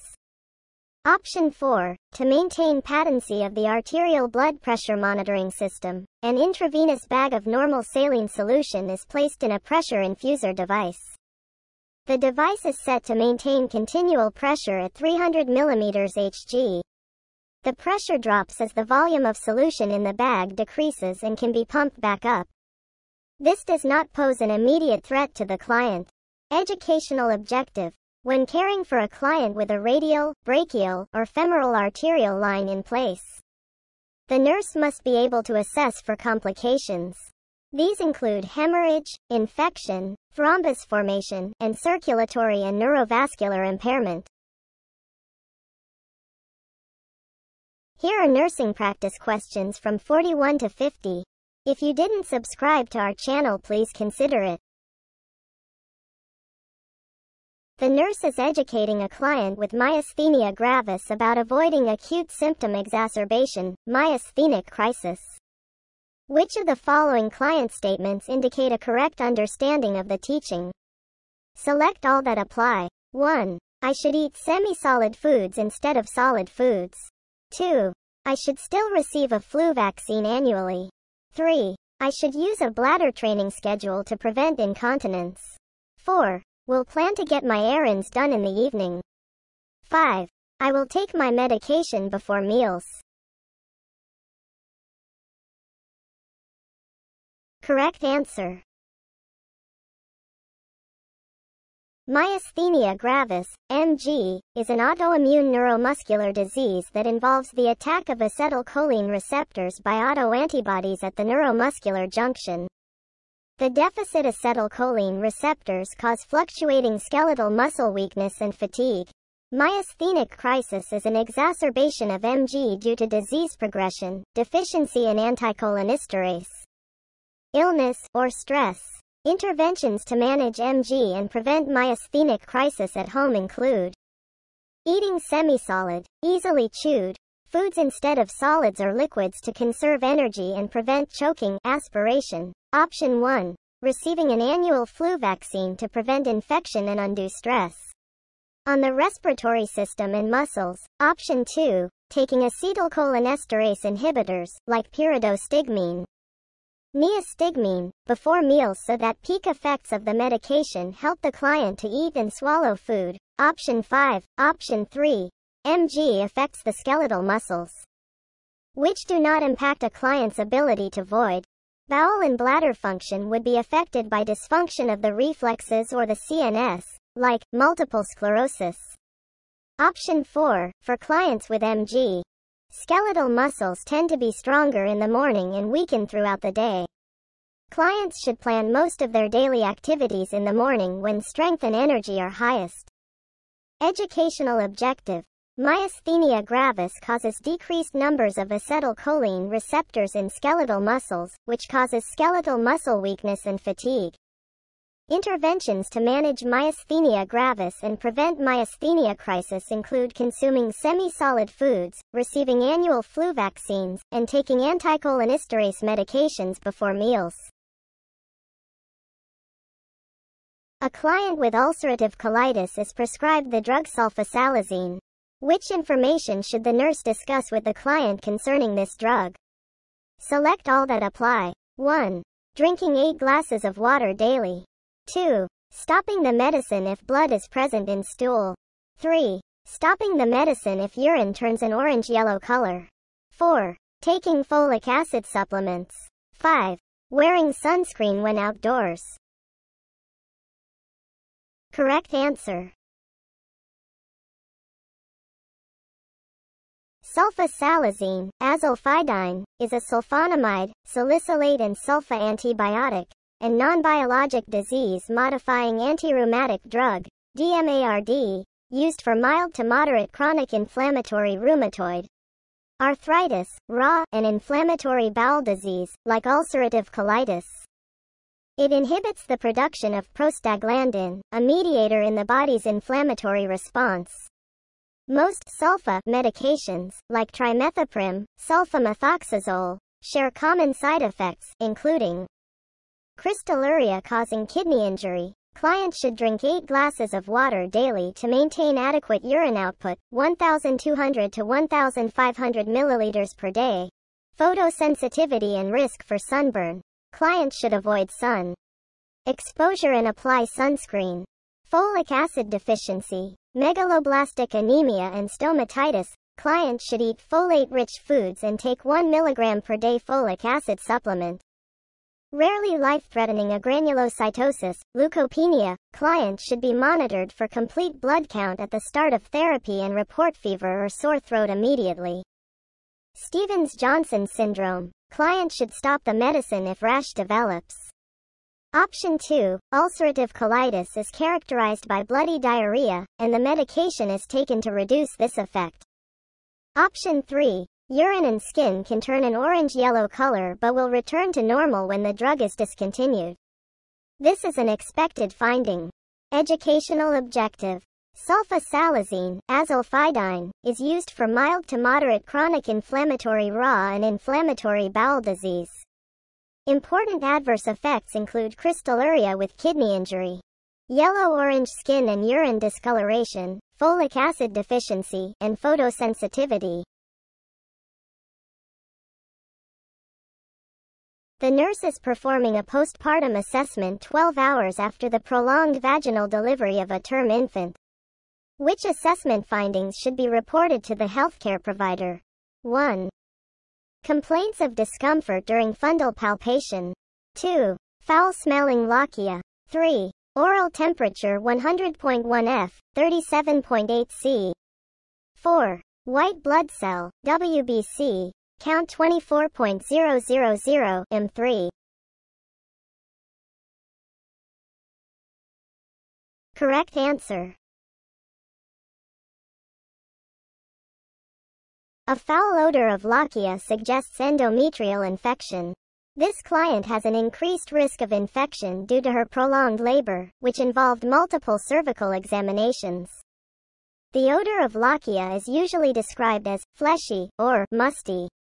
A foul smell warrants further evaluation. Other signs of endometrial infection are maternal fever, tachycardia, and uterine pain, tenderness. Option 1. Palpation of the postpartum uterine fundus is commonly uncomfortable for the client. If the client complains of increasing pain, further evaluation is needed. Option 3. Major signs and symptoms of endometrial infection include temperature above 100.4 F, 38.0 C, chills, malaise, excessive uterine tenderness, and purulent, foul-smelling lochia. During the first 24 hours postpartum, the temperature is normally elevated. Temperature above 100.4 F, 38 C, requires further evaluation. Option 4, the WBC count is normally elevated during the first 24 hours postpartum up to 30,000 per millimeter.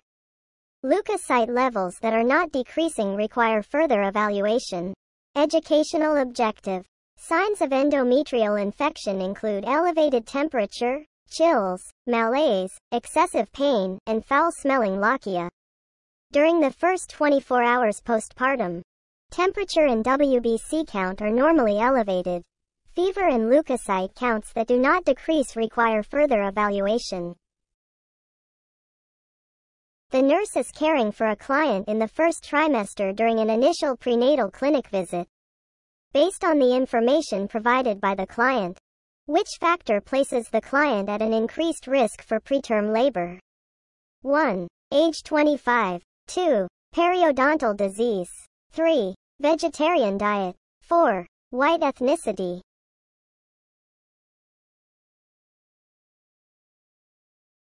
Correct answer. Preterm birth is defined as birth before 37 weeks and 0 days gestation. Infection, like periodontal disease, urinary tract infection, is strongly associated with preterm labor. Particularly when untreated. Option 2. Infection causes release of inflammatory mediators such as prostaglandins, which are uterotonic, promote contractions, and contribute to cervical softening. Some risk factors for preterm birth may be modifiable with lifestyle changes and early treatment. Risk factors should be addressed at the initial and each subsequent prenatal visit to allow for early identification and management. Some risk factors for preterm birth include history of spontaneous preterm birth in a previous pregnancy, single largest independent risk factor. Previous cervical surgery, such as a cone biopsy, weakens cervical support. Tobacco and or illicit drug use. Option 1. Maternal ages less than 17 and greater than 35 are associated with increased risk for preterm birth. Maternal age of 25 is not a risk factor. Option 3. Maternal undernutrition can increase the risk for preterm birth and low infant birth weight. However, a balanced vegetarian diet with adequate pregnancy weight gain does not increase preterm birth risk. Option 4. Non-Hispanic black women have the highest rates of preterm labor and birth.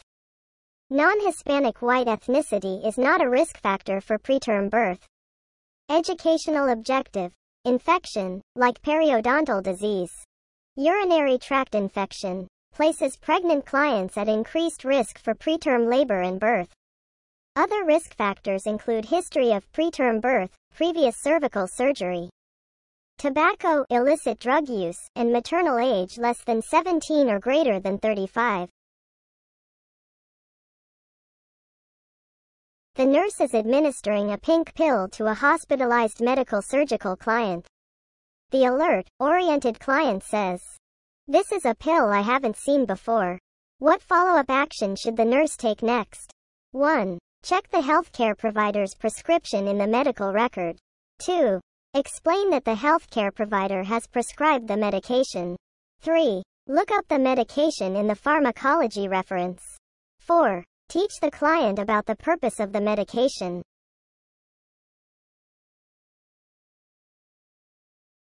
Correct answer. When a mentally competent client questions a drug administration, the safest option is to first check the prescription to verify the six rights of medication administration. Option 1. If an error is ruled out, like different brand, new order, the nurse should follow up with appropriate teaching. Option 2. The nurse must first verify all aspects of proper medication administration. If they are correct, the nurse should provide appropriate teaching on why the healthcare provider prescribed the medication. Explaining that the nurse is just following orders is rarely the correct answer. Option 3. A pharmacology reference can verify information about the medication but will not confirm that the client is the correct recipient. Acceptable identifiers include first and last name, medical record number, and birth date. Option 4. The nurse can teach the client about the purpose of the medication after the six rights have been verified. Educational objective. When a competent client questions a new medication, the nurse should first verify the six rights of safe medication administration. Right client, medication, dose, route, time, and documentation. If safe administration has been confirmed, the nurse should then provide appropriate teaching to the client. A client is receiving a continuous heparin infusion and the most recent APTT is 140 seconds. The nurse notices blood oozing at the surgical incision and eye insertion sites. What interventions should the nurse implement? Select all that apply. 1. Continue heparin infusion and recheck APTT in 6 hours. 2. Prepare to administer vitamin K3. Redraw blood for laboratory tests. 4. Review guidelines for administration of protamine. 5. Stop infusion of heparin and notify the healthcare provider, HCP.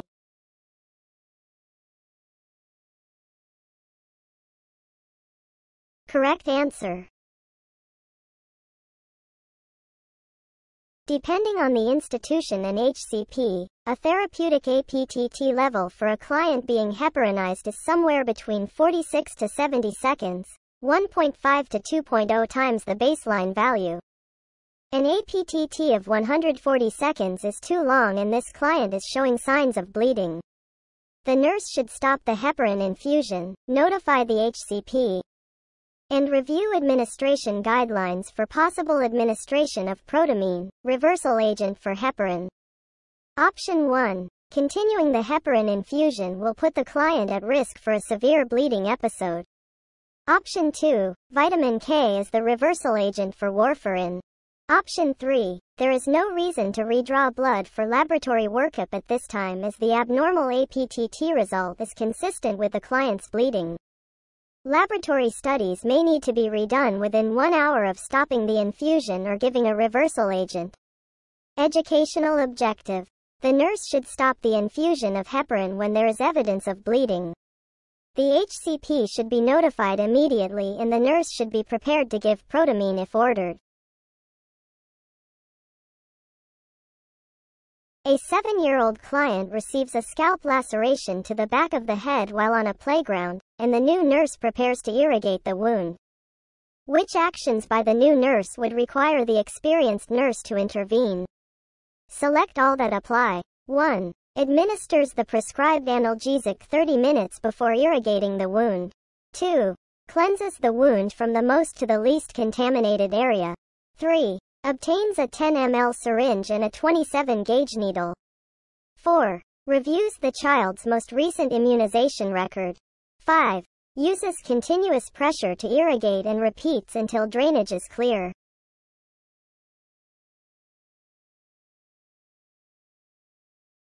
Correct answer. Before an open wound is closed, irrigation is performed to wash out debris and bacteria to ensure appropriate wound healing. This is important for wounds obtained in an outdoor environment, like playground, as contamination with soil or dirt greatly increases the risk of infection. To perform wound irrigation, administer the analgesic 30 to 60 minutes before the procedure to allow medication to reach therapeutic effect. Option 1. Don a gown and mask with face shield to protect from splashing fluid and sterile. Gloves to maintain surgical asepsis and prevent infection. Fill a 30 to 60 ml sterile irrigation syringe with the prescribed irrigation solution. Attach an 18 or 19 gauge needle or angiocatheter to the syringe and hold one in 2.5 centimeters above the area. Use continuous pressure to flush the wound, repeating until drainage is clear. Option 5. Dry the surrounding wound area to prevent skin breakdown and irritation. Immunization history is reviewed to determine tetanus vaccination status. Option 4. Typically, a tetanus vaccination is administered if the client has not had one within the last 5 to 10 years.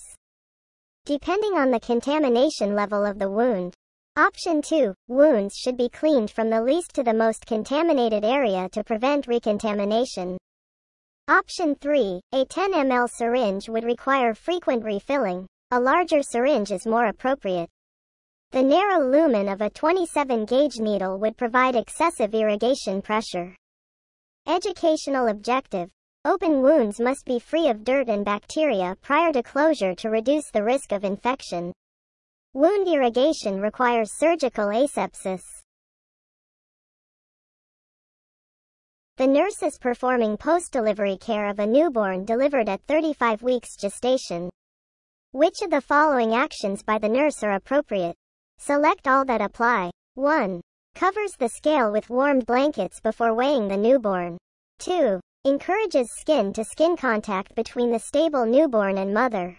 3. Performs diaper changes underneath a radiant warmer. 4. Places the identification band on the newborn before beginning to dry off amniotic fluid. 5. Transfers the swaddled newborn to the neonatal intensive care unit in an open bassinet.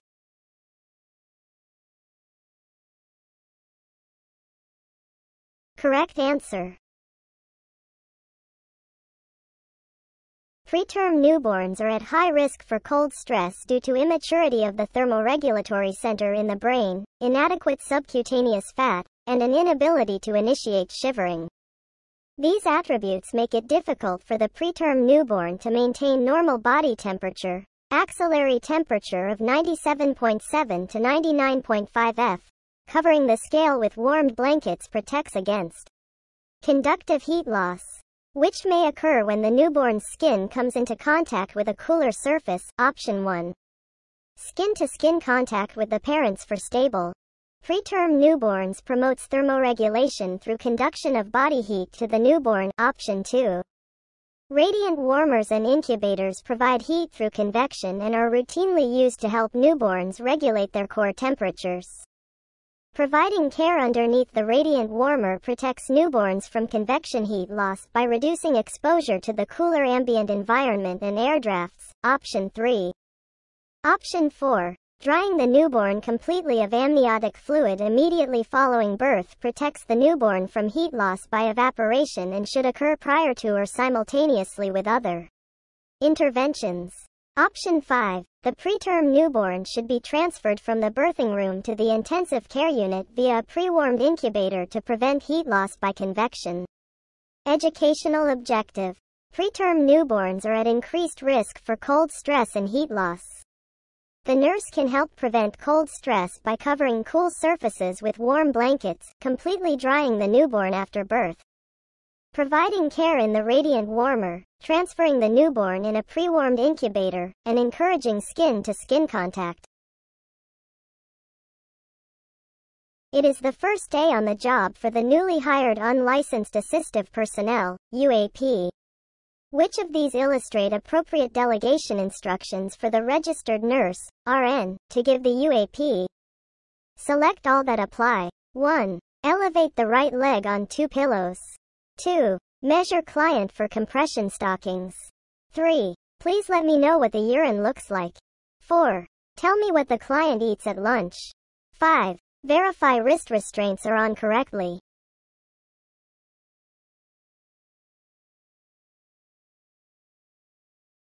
Correct answer.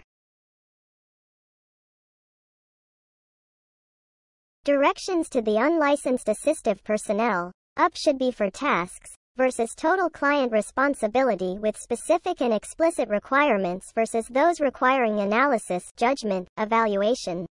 The nursing process. Elevate leg on two pillows is very specific and does not require specialized knowledge or skill. Option 1. Report what the client eats at lunch is data collection only. Option 4. The RN will analyze the data to see if the amount of food is adequate. Option 2, the UAP may apply compression stockings or devices. But the RN or LP should measure the client to choose the appropriate size as this is beyond the UP's scope of practice. Option 3, this involves an assessment that the RN should perform. The RN could ask for specific data, such as amount of urine or presence of blood clots. Option 5. This requires a judgment. Is the restraint tight enough, too tight and causing impaired circulation? That the RN should make. The UAP could be assigned a specific task, such as offering a drink to the client. Educational objective. Assign a new UP specific tasks that do not require specialized knowledge or skills. The UAP can gather data but should not be asked to assess, analyze, evaluate, or measure client for compression devices.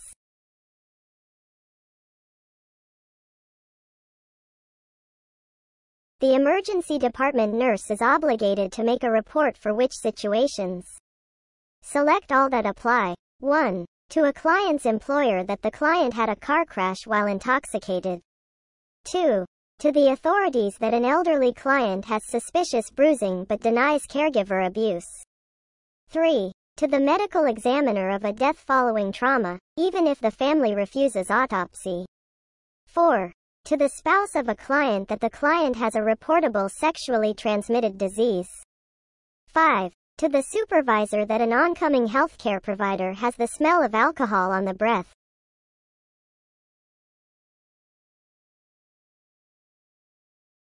Correct answer. There are several circumstances in which the nurse is legally required to report to appropriate civil authorities. Suspected elder abuse must be reported to the appropriate authorities for investigation. The nurse has a legal obligation to report signs of abuse regardless of client's ability or willingness to advocate for themselves. Option 2. The nurse should report deaths that meet medical examiner reporting guidelines, like suspected to be the result of a crime, trauma, or suicide to the authorities for investigation. The local medical examiner has the legal authority and obligation to perform an autopsy independent of the family's wishes. Option 3. For the sake of client safety, nurses should immediately report impaired or intoxicated healthcare workers, regardless of their position. Option 5. Under the Health Insurance Portability and Accountability Act, a client's reason for an emergency department visit cannot be communicated to employers without the client's permission. Option 1. Health authorities must be notified of a reportable sexually transmitted disease regardless of client wishes. Depending on the condition, authorities may report findings to sexual contacts but it is a violation of client privacy for the nurse to share this information with the client's family or spouse. Option 4. Educational objective. The nurse is required to report an impaired coworker, a suspicious death, and elder abuse to appropriate authorities. The nurse is legally prohibited from sharing health information with employers or family members without the client's permission. If you like this content, please like, comment, and subscribe. Here are nursing practice questions from 51 to 60. Please subscribe for more videos like this. The nurse is caring for an agitated client with dementia who is pulling at the oxygen and IV tubing. Wrist restraints are applied after less restrictive safety measures have been ineffective. Which actions are appropriate to protect the client from injury? Select all that apply. 1. Attach wrist restraint straps to the upper side rails. 2. Position the client supine to keep restraint straps taut. 3. Release restraints at regular intervals and assess behavior. 4. Use a square knot to tie restraint straps to the bed. 5. Use gauze to pad bony prominences under restraints. Correct answer.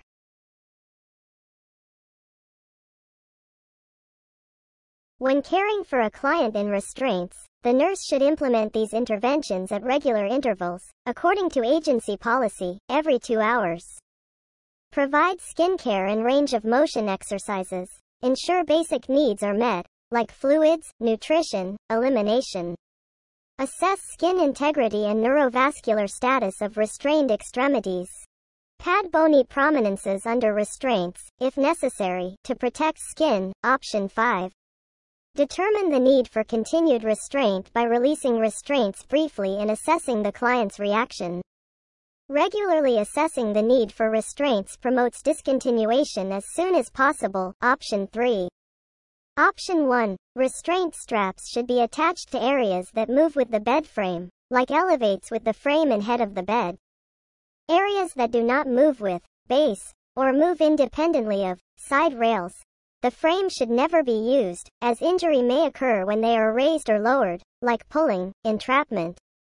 Option 2. Supine positioning increases aspiration risk as the client may be unable to self-reposition if vomiting occurs. Side-lying or semi-fowler position promotes drainage of emesis or oral secretions. Option 4. Restraint straps should be tied in a quick-release knot, in case of emergency, and never in a square knot, which is difficult to release quickly.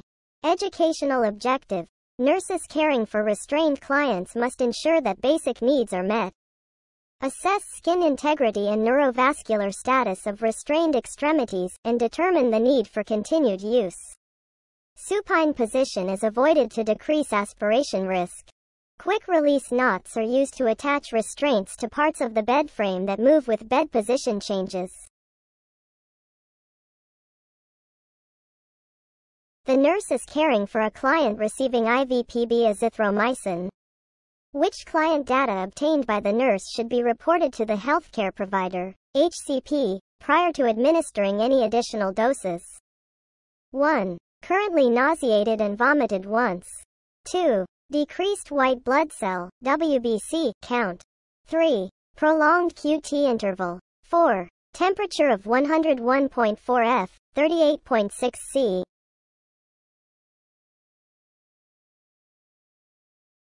Correct answer.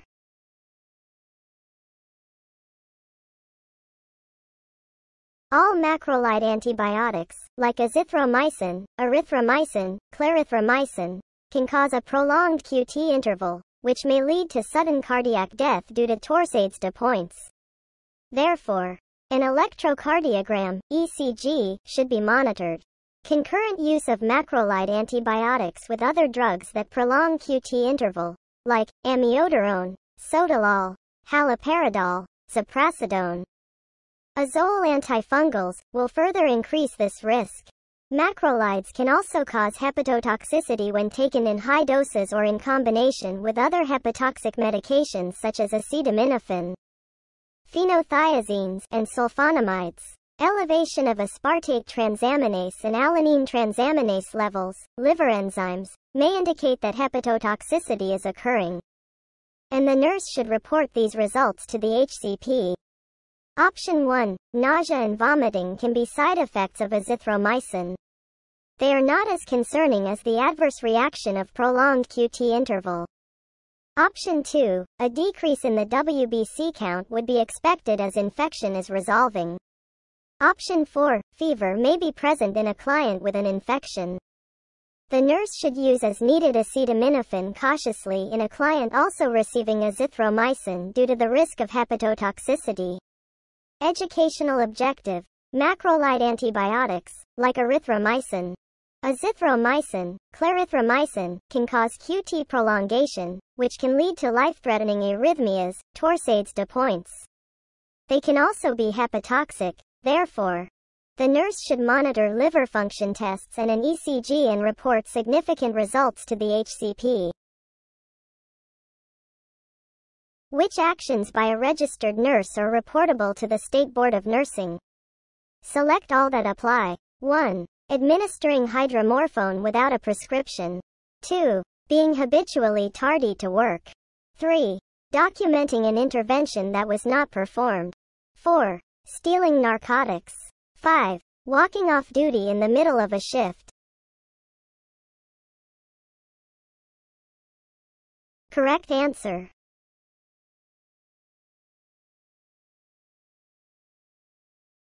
The National Council of State Boards of Nursing advises any individual who has knowledge of a potential violation of a nursing law or rule to file a complaint with the appropriate state board of nursing. A nurse should be knowledgeable concerning the presiding board's stance on mandatory reporting and which actions are considered reportable. In general, reportable actions may include any behavior by a licensed nurse that is unsafe, unethical, incompetent, impaired, by substances or a mental or physical condition, or in violation of nursing law. Practicing outside of the scope of the license is reportable even if the practice meets quality standards. Option 1. Documenting an intervention that was not performed is considered falsification of records regarding client care and is a reportable action. Option 3. Stealing narcotics is a criminal offense, a violation punishable by the state that can result in prison or a fine, and is reportable in all states. Many states offer an alternate rehabilitation program to nurses who diverted or abused drugs. Option 4. Abandonment, like leaving without proper replacement of personnel and transfer of responsibility for client care, is reportable in all states. Option 5. Option 2. Work habits are handled under the facility's management policies and are often part of the criteria for discipline and or termination.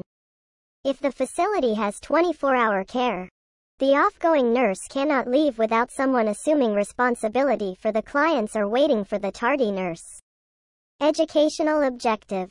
Nurse offenses reportable to the State Board of Nursing include criminal acts, such as theft, practicing outside of the scope, falsification of records, and client abandonment. Any individual may file a complaint regarding an action that is potentially unethical, incompetent, impaired, or in violation of nursing law.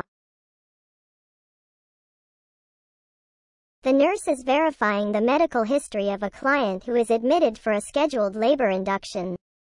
Which client statement should prompt the nurse to request further evaluation for a primary cesarean birth from the healthcare provider? 1. A vacuum was used to help deliver my last baby because the baby's heart rate was dropping. 2. I have an atrial septal defect that has never given me any problems. And I plan to receive an epidural during labor. 3. I lost my acyclovir prescription, and I've noticed lesions on my labia that are stinging and burning. 4. I took enoxaparin during this pregnancy due to a history of blood clots, and my last dose was yesterday. Correct answer.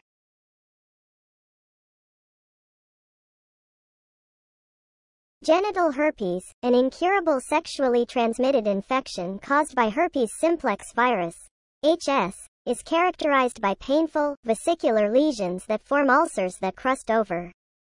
Clients with a history of genital herpes are prescribed antivirals, acyclovir, around 36 weeks gestation to prevent outbreaks prior to labor.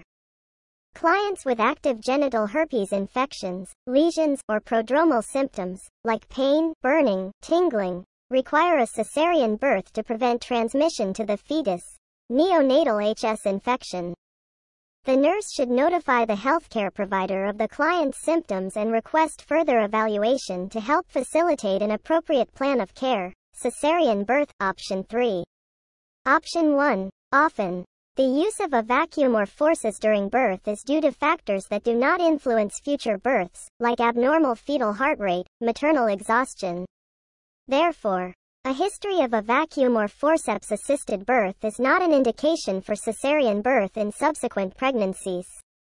Options 2 and 4, most cardiac diseases, atrial septal defect, and a history of venous thrombus are not indications for cesarean birth. These conditions increase the risk of complications during and following a cesarean birth because of the blood loss and immobility associated with surgery. Educational objective. Clients with an active genital herpes infection or prodromal symptoms require further evaluation for a cesarean birth to prevent infection of the fetus. History of a vacuum-assisted birth. An asymptomatic atrial septal defect and venous thrombus are not indications for cesarean birth.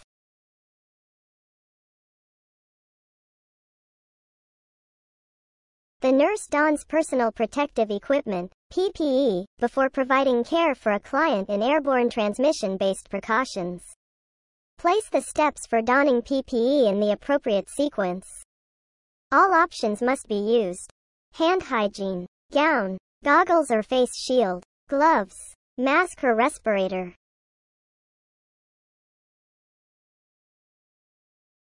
Correct answer.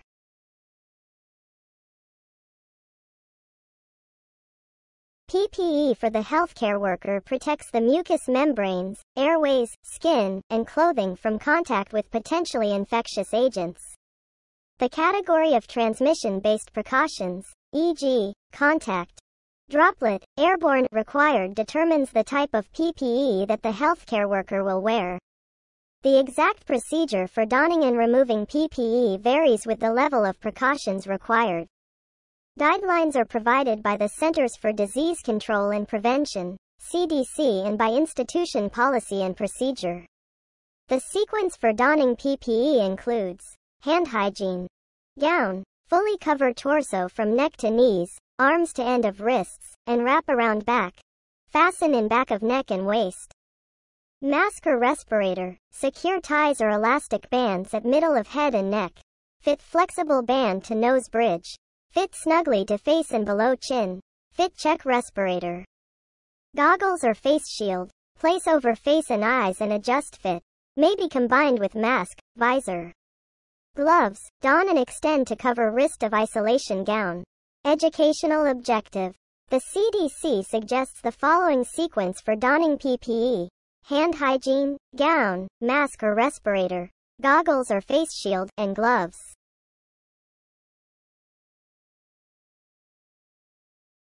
The nurse is helping a 10-year-old child hospitalized for vaso-occlusive sickle cell crisis to plan activities for the day. What is an appropriate activity to suggest? 1. Doing puzzles in the activity room. 2. Playing an action video game. 3. Reading a new children's book. 4. Walking through the unit hallways.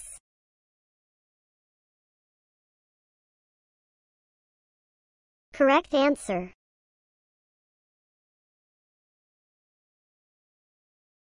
Vaso-occlusive sickle cell crisis causes severe pain due to the occlusion of small blood vessels from increased BC sickling.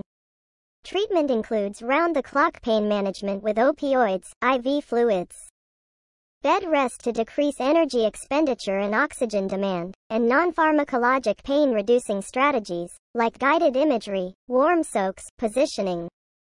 Age-specific activities are important to include in the hospitalized child's plan of care.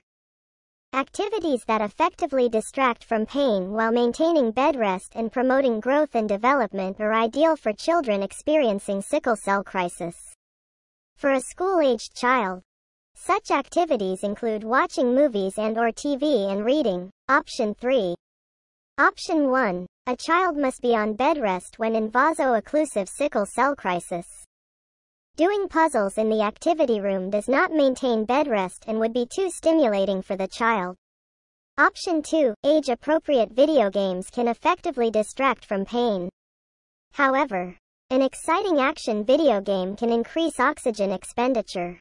In addition, vaso-occlusive ischemic pain often affects the joints, hands, making games that require hand dexterity difficult.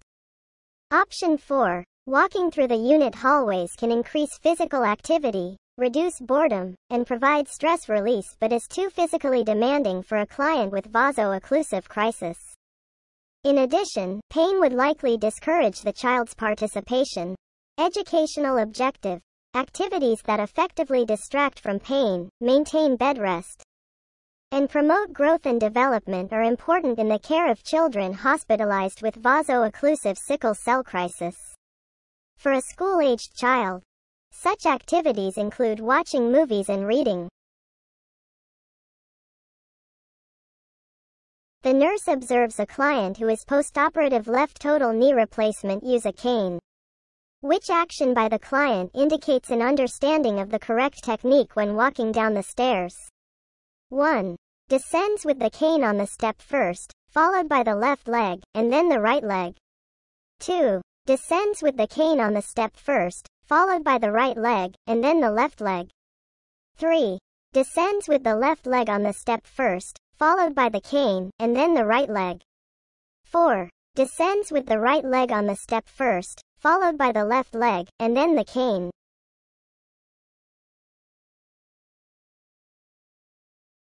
Correct answer.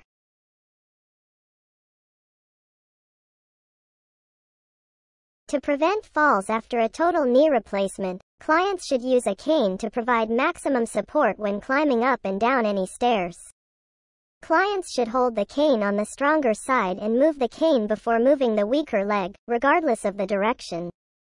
Clients must also keep two points of support on the floor at all times, like both feet, foot and cane. When descending stairs, the client should lead with the cane, Bring the weaker leg down next. In this client, it is the left leg. Finally, step down with the stronger leg, option 1. When ascending stairs, the client should step up with the stronger leg first. Move the cane next, while bearing weight on the stronger leg. Finally, move the weaker leg. To remember the order, use the mnemonic, up with the good and down with the bad. The cane always moves before the weaker leg. Options 2, 3, and 4. These options do not provide enough support to the weaker leg when descending. Educational objective. To prevent falls when descending the stairs using a cane. The client should lead with the cane, follow with the weaker leg, and then step down with the stronger leg.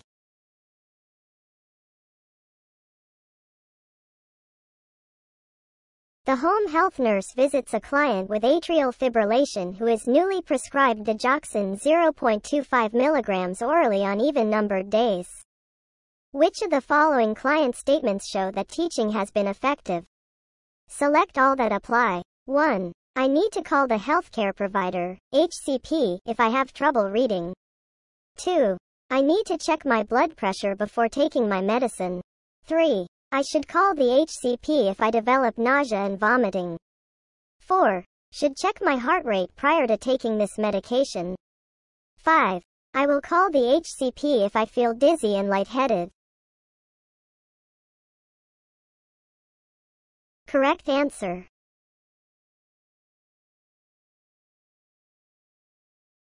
Digoxin, lanoxin, is a cardiac glycoside used to treat heart failure and atrial fibrillation. Cardiac glycosides have positive inotropic effects, increased cardiac output, and negative chronotropic effects, decreased heart rate. However, drug toxicity is common due to digoxin having narrow therapeutic range levels, 0.5 to 2.0 nanogram per milliliter. Cardiac arrhythmias are the most dangerous symptoms. Digoxin toxicity can result in bradycardia and heart block, which can cause dizziness or lightheadedness. Option 5. Clients are instructed to check their pulse and if it is low, less than 60 per minute, or has skipped beats to hold the medication and notify the healthcare provider. Option 4.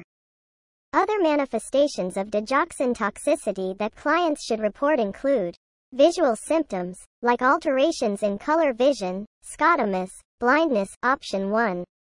Gastrointestinal symptoms, like anorexia, nausea, vomiting, abdominal pain, frequently the earliest symptoms, option 3. Neurologic manifestations, like lethargy, fatigue, weakness, confusion. Option 2. There is no need to routinely check blood pressure before taking digoxin as it does not affect blood pressure. Clients should check the pulse prior to administration. Educational objective. Cardiac glycosides, digoxin, have positive inotropic effects, like increased cardiac output, and negative chronotropic effects, like decreased heart rate. Clients are instructed to check their pulse before administration and to report gastrointestinal, like anorexia, nausea, neurologic, and cardiac symptoms and visual changes. The nurse is caring for a 10-year-old client diagnosed with attention deficit hyperactivity disorder. The client is at risk for which complication? 1. Delayed physical development. 2. Intrusive thoughts. 3. Low self-esteem. 4. Paranoia.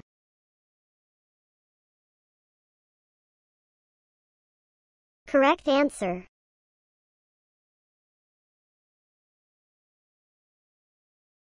Attention Deficit Hyperactivity Disorder, ADHD, is a neurodevelopmental disorder characterized by inattention, distractibility, and or hyperactivity. Children experiencing hyperactivity are typically restless, have difficulty remaining seated, talk excessively, blurt out answers, and interrupt others. Inattention is characterized by a reduced ability to focus, distractibility, and failure to complete tasks. A diagnosis of ADHD can be made when a child, age less than 17 years, exhibits multiple symptoms of hyperactivity, impulsiveness and or inattentiveness for at least six months. Children may struggle to control impulsive behavior and exhibit emotional dysregulation, like low frustration tolerance, irritability, anger outbursts, when unable to meet demands and challenges. Symptoms are typically persistent and can lead to impaired social skills and peer rejection. This results in feelings of isolation and low self-esteem. Option 3. Option 1. ADHD is not associated with delayed physical growth unless children taking prescribed stimulant medications do not maintain a proper diet. Option 2. Intrusive thoughts or urges, impulses, or unwanted thoughts associated with obsessive compulsive disorder, not ADHD. Option 4. Paranoia is associated with schizophrenia and certain personality disorders, like schizotypal personality disorder. Clients with ADHD do not have an increased risk for developing paranoia unless they take high doses of stimulant medications, medication misuse. Educational objective. Attention Deficit Hyperactivity Disorder, ADHD, is a neurodevelopmental disorder characterized by inattention, distractibility, and or hyperactivity. Symptoms are typically persistent and can lead to impaired social skills and peer rejection, resulting in feelings of isolation and poor self-esteem. A nurse is caring for a client at 30 weeks gestation who is admitted for preterm labor. Which of the following interventions should the nurse anticipate? Select all that apply. 1.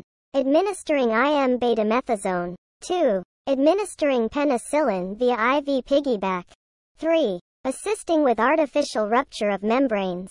4. Initiating IV magnesium sulfate. 5. Obtaining fetal heart tones once per shift. Correct answer.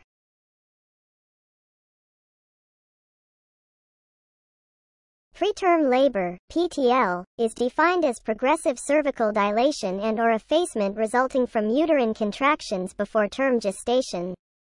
The nurse should anticipate the following interventions for clients in PTL before 34 weeks gestation. Administering IM antenatal glucocorticoids, like betamethasone, dexamethasone, to stimulate fetal lung maturation and promote surfactant development, option 1. Administering antibiotics, penicillin, to prevent group B streptococcus infection in the newborn if preterm birth occurs, option 2.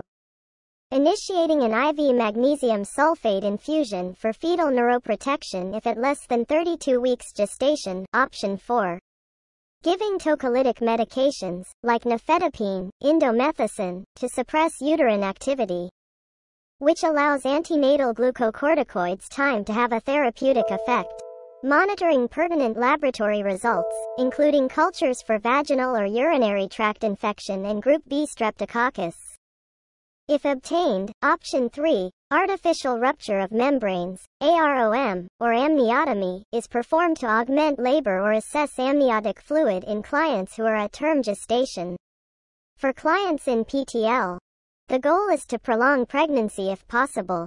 Therefore, AROM is contraindicated. Option 5. Clients with suspected PTL should be placed on continuous fetal monitoring to assess for increasing frequency and duration of contractions and to evaluate fetal tolerance of labor. Continuous fetal monitoring is also required if the client is receiving a magnesium sulfate infusion. Educational objective. Preterm labor is progressive cervical dilation and or effacement resulting from uterine contractions before term gestation.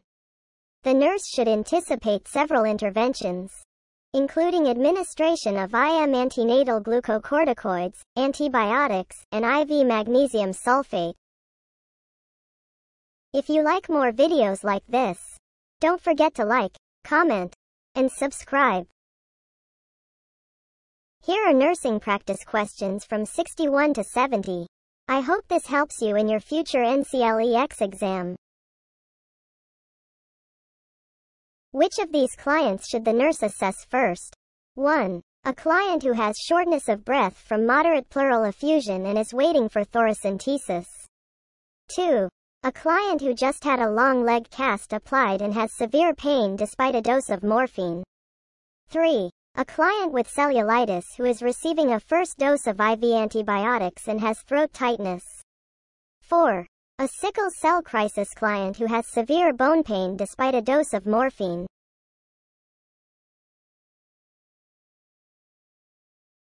Correct answer. First level priorities include issues of airway, breathing, cardiac and circulation, and vital signs, respectively. A client receiving the first dose of an antibiotic is at risk for allergic reactions, including anaphylaxis. Signs and symptoms of anaphylaxis include itching, flushing, hives, wheezing, bronchospasm, swelling of the oral mucosa, and hypotension. This is a potentially fatal complication that requires immediate intervention. Option 3. Option 1. This client with a moderate pleural effusion awaiting the corrective procedure would be the last client to be assessed by the nurse. Shortness of breath is an expected symptom of pleural effusion. If signs or symptoms of respiratory distress or hypoxemia occur, this client will increase in priority. Option 2. This client with a new cast experiencing severe pain would be the second client to be assessed. This client is at risk for compartment syndrome and limb loss. Increasing fluid, bleeding, in a confined space or decreasing compartmental capacity, casting, causes neurovascular compromise as the vessels are compressed and unable to deliver oxygen to the tissues. Long bone fractures account for most cases of acute compartment syndrome.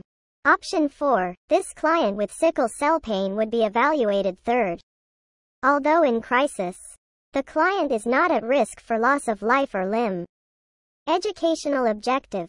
First level priorities include issues of airway, breathing, cardiac and circulation, and vital signs, respectively. Anaphylactic reactions are potentially fatal medical emergencies that must be treated immediately. Compartment syndrome prevents perfusion and can cause tissue death and limb loss. Stable clients awaiting procedures are assessed last. A client with primary hypothyroidism has been taking levothyroxine for a year. Laboratory results today show high levels of TSH. Which statement by the nurse to the client is appropriate? 1. A new prescription will likely be issued for a decreased dose of levothyroxine. 2. Dosages of levothyroxine may need to be increased to improve TSH levels. 3. Levothyroxine should be held, and the TSH levels will be reassessed in three months. 4. Start taking your levothyroxine with dietary fiber or calcium to increase its effectiveness.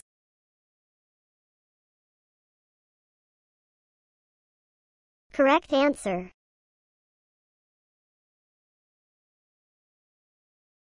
Thyroid-stimulating hormone, TSH, is released from the pituitary gland to stimulate the thyroid to secrete hormones, T3, T4. When sufficient thyroid hormone is circulating, negative feedback causes a normally functioning pituitary to slow or stop the release of TSH. In primary hypothyroidism, the thyroid is unable to synthesize enough T3 or T4, slowing the metabolic rate. In response to low circulating thyroid hormones, the pituitary continues to release TSH, resulting in high TSH levels.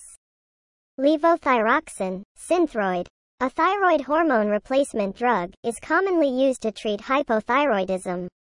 Levothyroxine dosing is adjusted to regulate circulating thyroid hormone levels. This creates a euthyroid, normal, state and TSH levels are decreased, option 2. Options 1 and 3, decreasing the dose or discontinuing levothyroxine would lead to increased TSH and worsening hypothyroidism as the amount of circulating thyroid hormone decreases. Option 4. Levothyroxine should be taken on a consistent morning schedule, at least 30 minutes before a meal. Foods containing certain ingredients, like walnuts, soy products, dietary fiber, calcium, can decrease drug absorption. Educational objective. In primary hypothyroidism, the thyroid does not produce enough hormones, T3, T4. In response to low circulating thyroid hormones, the pituitary continues to release TSH, resulting in high levels of circulating TSH. Levothyroxine is usually started or increased to lead to a euthyroid, normal, state. The nurse is caring for a client who needs an indwelling urinary catheter inserted for urinary retention. Which tasks would be appropriate to delegate to the unlicensed assistive personnel? Select all that apply. 1. Document output from the urinary collection bag. 2. Hold adipose tissue out of the way during catheter insertion. 3. Monitor color of the urine after the nurse has assessed it. 4. Reinforce education about the purpose of the urinary catheter. 5. Secure the catheter to the client's thigh with an anchor.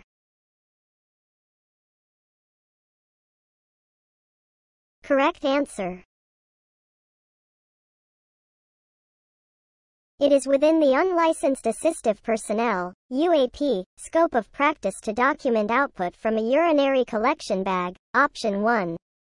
The UAP can assist the nurse during a procedure by helping to position a client or holding part of the client's body, option 2. The UAP may also perform routine tasks, such as securing a catheter to the client's thigh with an anchor device, option 5. Option 3. A licensed practical nurse, LP, may monitor for changes after an initial assessment has been performed by a registered nurse, RN, but this is not within the UAP scope of practice. Option 4. Education should be provided by the RN. Reinforcement of education may be performed by the LP, but it is not within the UAP scope of practice. Educational objective. Unlicensed assistive personnel, UAP, cannot provide client education, perform assessments, or monitor for assessment changes. UAP should not be delegated tasks outside their scope of practice. While caring for a client in skeletal traction, which tasks can the registered nurse, RN, delegate to experienced unlicensed assistive personnel, UAP, to help prevent immobility hazards? Select all that apply. 1. Assist with active and passive range of motion, ROM exercises. 2. Change bed linens while log rolling the client from side to side. 3. Check the color and temperature of the affected extremity. 4. Remind the client to use the incentive spirometer. 5. Reapply pneumatic compression device after bathing the client.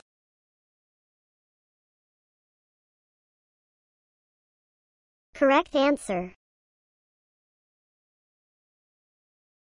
The UAP has the skills and knowledge to perform standard procedures to prevent immobility hazards for a client in traction, like pneumonia pressure ulcers, foot drop, thromboembolism. When providing care for a stable client, the RN can safely delegate these tasks to the UAP. Assist with active and passive ROM exercises after the client has been taught how to perform them by the RN or physical therapist, option 1. Notify the RN of client reports of pain, tingling, or decreased sensation in the affected extremity. Remind the client to use the incentive spirometer after the client has been taught proper use by the RN or respiratory therapist. Option 4. Maintain proper use of pneumatic compression devices. Option 5. Remind the client to move frequently using the overhead trapeze. Option 2. The UAP changes the linens from the top to the bottom of the bed with assistance. Clients are instructed to lift themselves using the overhead trapeze.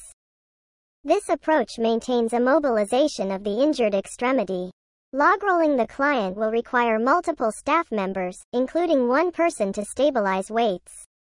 Option 3. The RN is responsible for peripheral circulation, neurovascular, and skin assessments. Educational objective. To prevent immobility hazards for a client in skeletal traction. The RN can delegate the following tasks to the UAP. Assist with active and passive ROM exercises. Notify the RN of client reports of pain, tingling, or decreased sensation in the affected extremity. Remind the client to use the incentive spirometer.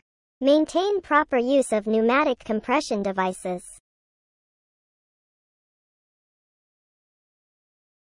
The nurse administers subcutaneous insulin Lispro at 0730 to a client as prescribed and the client consumes breakfast 30 minutes later.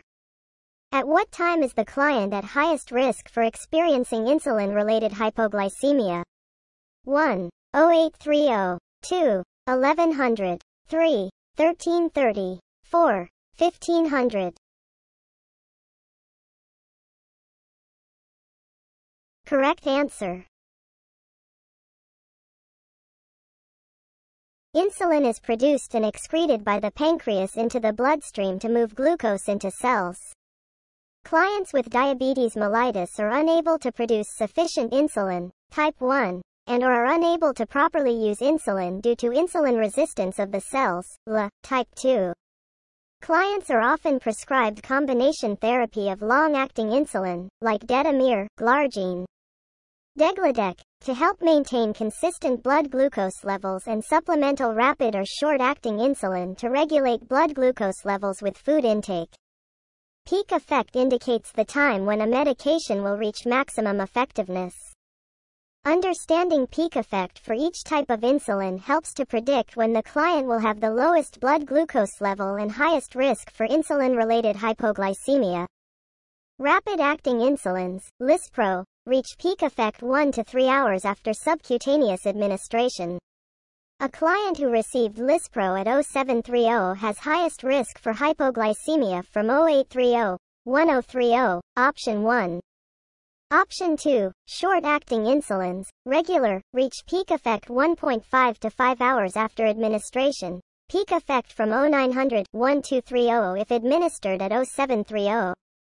Options 3 and 4, intermediate acting insulins, NPH, reach peak effect 4 to 12 hours after administration. Peak effect from 1130 to 1930 if administered at 0730.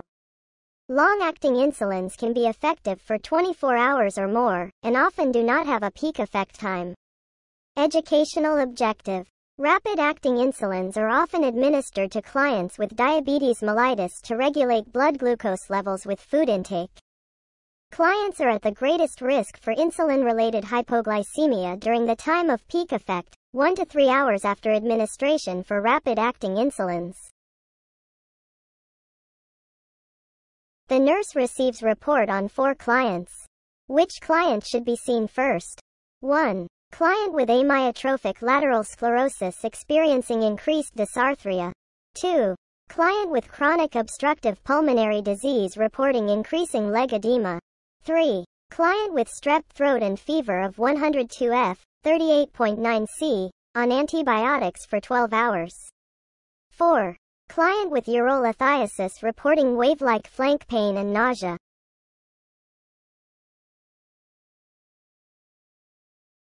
Correct answer.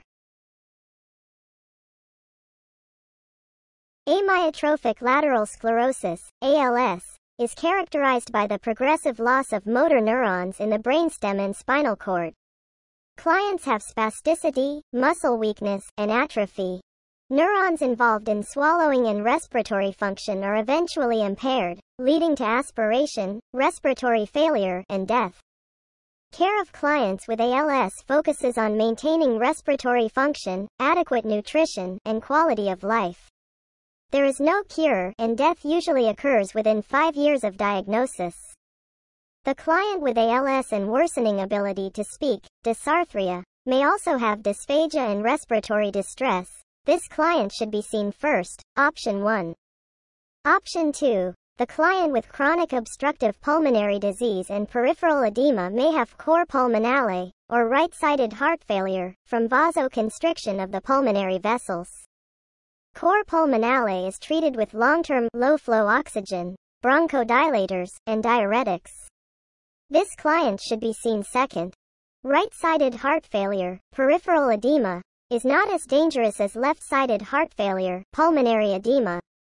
Option 3. Fever often occurs with strep throat and may persist for 224 hours after initiation of antibiotics. This client should be seen last and should receive an antipyretic. Option 4. Wave-like flank pain is characteristic of urolithiasis, urinary stones. This client needs pain medication and, possibly, further treatment, lithotripsy, and should be seen third.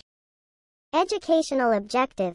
Amyotrophic lateral sclerosis causes progressive loss of motor neurons, resulting in muscle weakness and spasticity. Muscles involved in respiration and swallowing are affected leading to aspiration and, ultimately, respiratory failure. Treatment focuses on maintaining respiratory function, adequate nutrition, and quality of life. The nurse is teaching an adolescent client about newly prescribed alprazolam and sertraline. Which of the following statements by the client indicate that the teaching was effective? Select all that apply. 1. Should have no more than one alcoholic beverage a day while taking alprazolam. 2. I should not drive after I take alprazolam. 3. I will contact my healthcare provider if I experience suicidal thoughts. 4. I will immediately stop taking alprazolam if I feel dizzy or lightheaded. 5. I will take sertraline at the onset of a panic attack.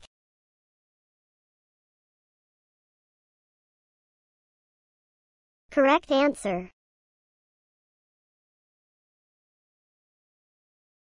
Panic disorder is often treated with selective serotonin reuptake inhibitors, SSRIs, sertraline, or serotonin norepinephrine reuptake inhibitors, SNRIs, venlafaxine, for long-term maintenance.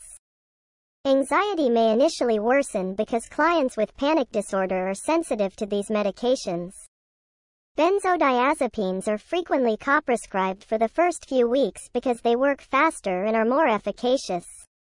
Benzodiazepines, lorazepam, alprazolam, are central nervous system, CNS, depressants that potentiate the effect of gamma-aminobutyric acid, GABA, a powerful inhibitory neurotransmitter in the brain.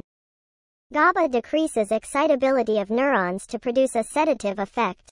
Clients taking alprazolam and sertraline should avoid driving while taking benzodiazepines due to the sedative effect, drowsiness. Option 2. Immediately report suicidal thoughts to the healthcare provider because SSRIs can increase the risk for suicide in children and young adults during initial treatment. Option 3. Option 1. Taking benzodiazepines with other CNS depressants, alcohol, Opioids can produce significant respiratory depression and death. Option 4. Benzodiazepines should not be abruptly discontinued, which can precipitate dangerous withdrawal symptoms, seizures. The healthcare provider should be notified if the client is unable to tolerate adverse effects, dizziness, lightheadedness. Option 5. SSRIs should be taken consistently at scheduled times to prevent future panic attacks. SSRIs do not treat acute symptoms. Educational objective. Clients taking selective serotonin reuptake inhibitors, SSRIs, should immediately report suicidal thoughts and take SSRIs consistently at scheduled times. Clients taking benzodiazepines should avoid concurrent use of other central nervous system depressants, driving while taking benzodiazepines, and abrupt discontinuation of benzodiazepines. A laboring client at 35 weeks gestation comes to the labor and delivery unit with preterm rupture of membranes about 18 hours ago. The client's group B streptococcus status is unknown. What intervention is a priority for this client? 1. Administration of prophylactic antibiotics. 2. Assessment of uterine contraction frequency. 3. Collection of a clean catch urine specimen. 4. Vaginal examination to assess cervical dilation.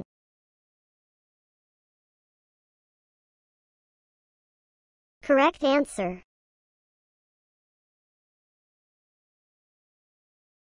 Group B streptococcus, GBS, may be present as part of normal vaginal flora in up to 30% of pregnant clients. Although colonization with GBS rarely poses harm to the client, it can be transmitted to the newborn during labor and birth, resulting in serious complications, like neonatal GBS sepsis, pneumonia. Pregnant clients are tested for GBS colonization at 35 to 37 weeks gestation and receive prophylactic antibiotics during labor if results are positive. If GBS status is unknown, Antibiotics are typically indicated when membranes have been ruptured for greater than 18 hours, maternal temperature is greater than 100.4 F, 38 C, or gestation is less than 37 weeks, option 1. Option 2. Part of the client's assessment includes evaluation of the uterine contraction pattern. However, the client and newborn are at risk for infection due to prolonged rupture of membranes and unknown GBS status, so antibiotic administration is the priority. Option 3. A urine specimen is often collected to evaluate for proteinuria in clients with elevated blood pressure or to assess for urinary tract infection in symptomatic clients. Urine specimen collection is not the priority for this client. Option 4. Vaginal examinations should be limited in the presence of ruptured membranes. Multiple vaginal examinations in such a client correlate with an increased risk for infection, chorioamnionitis. Educational objective. Group B streptococcus, GBS, infection can be transmitted to the newborn during labor and birth and cause serious complications. Indications for prophylactic antibiotics during labor include maternal GBS positive status or unknown GBS status with fever is greater than or equal to 100.4 F, 38 C, preterm gestation, and or prolonged rupture of membranes.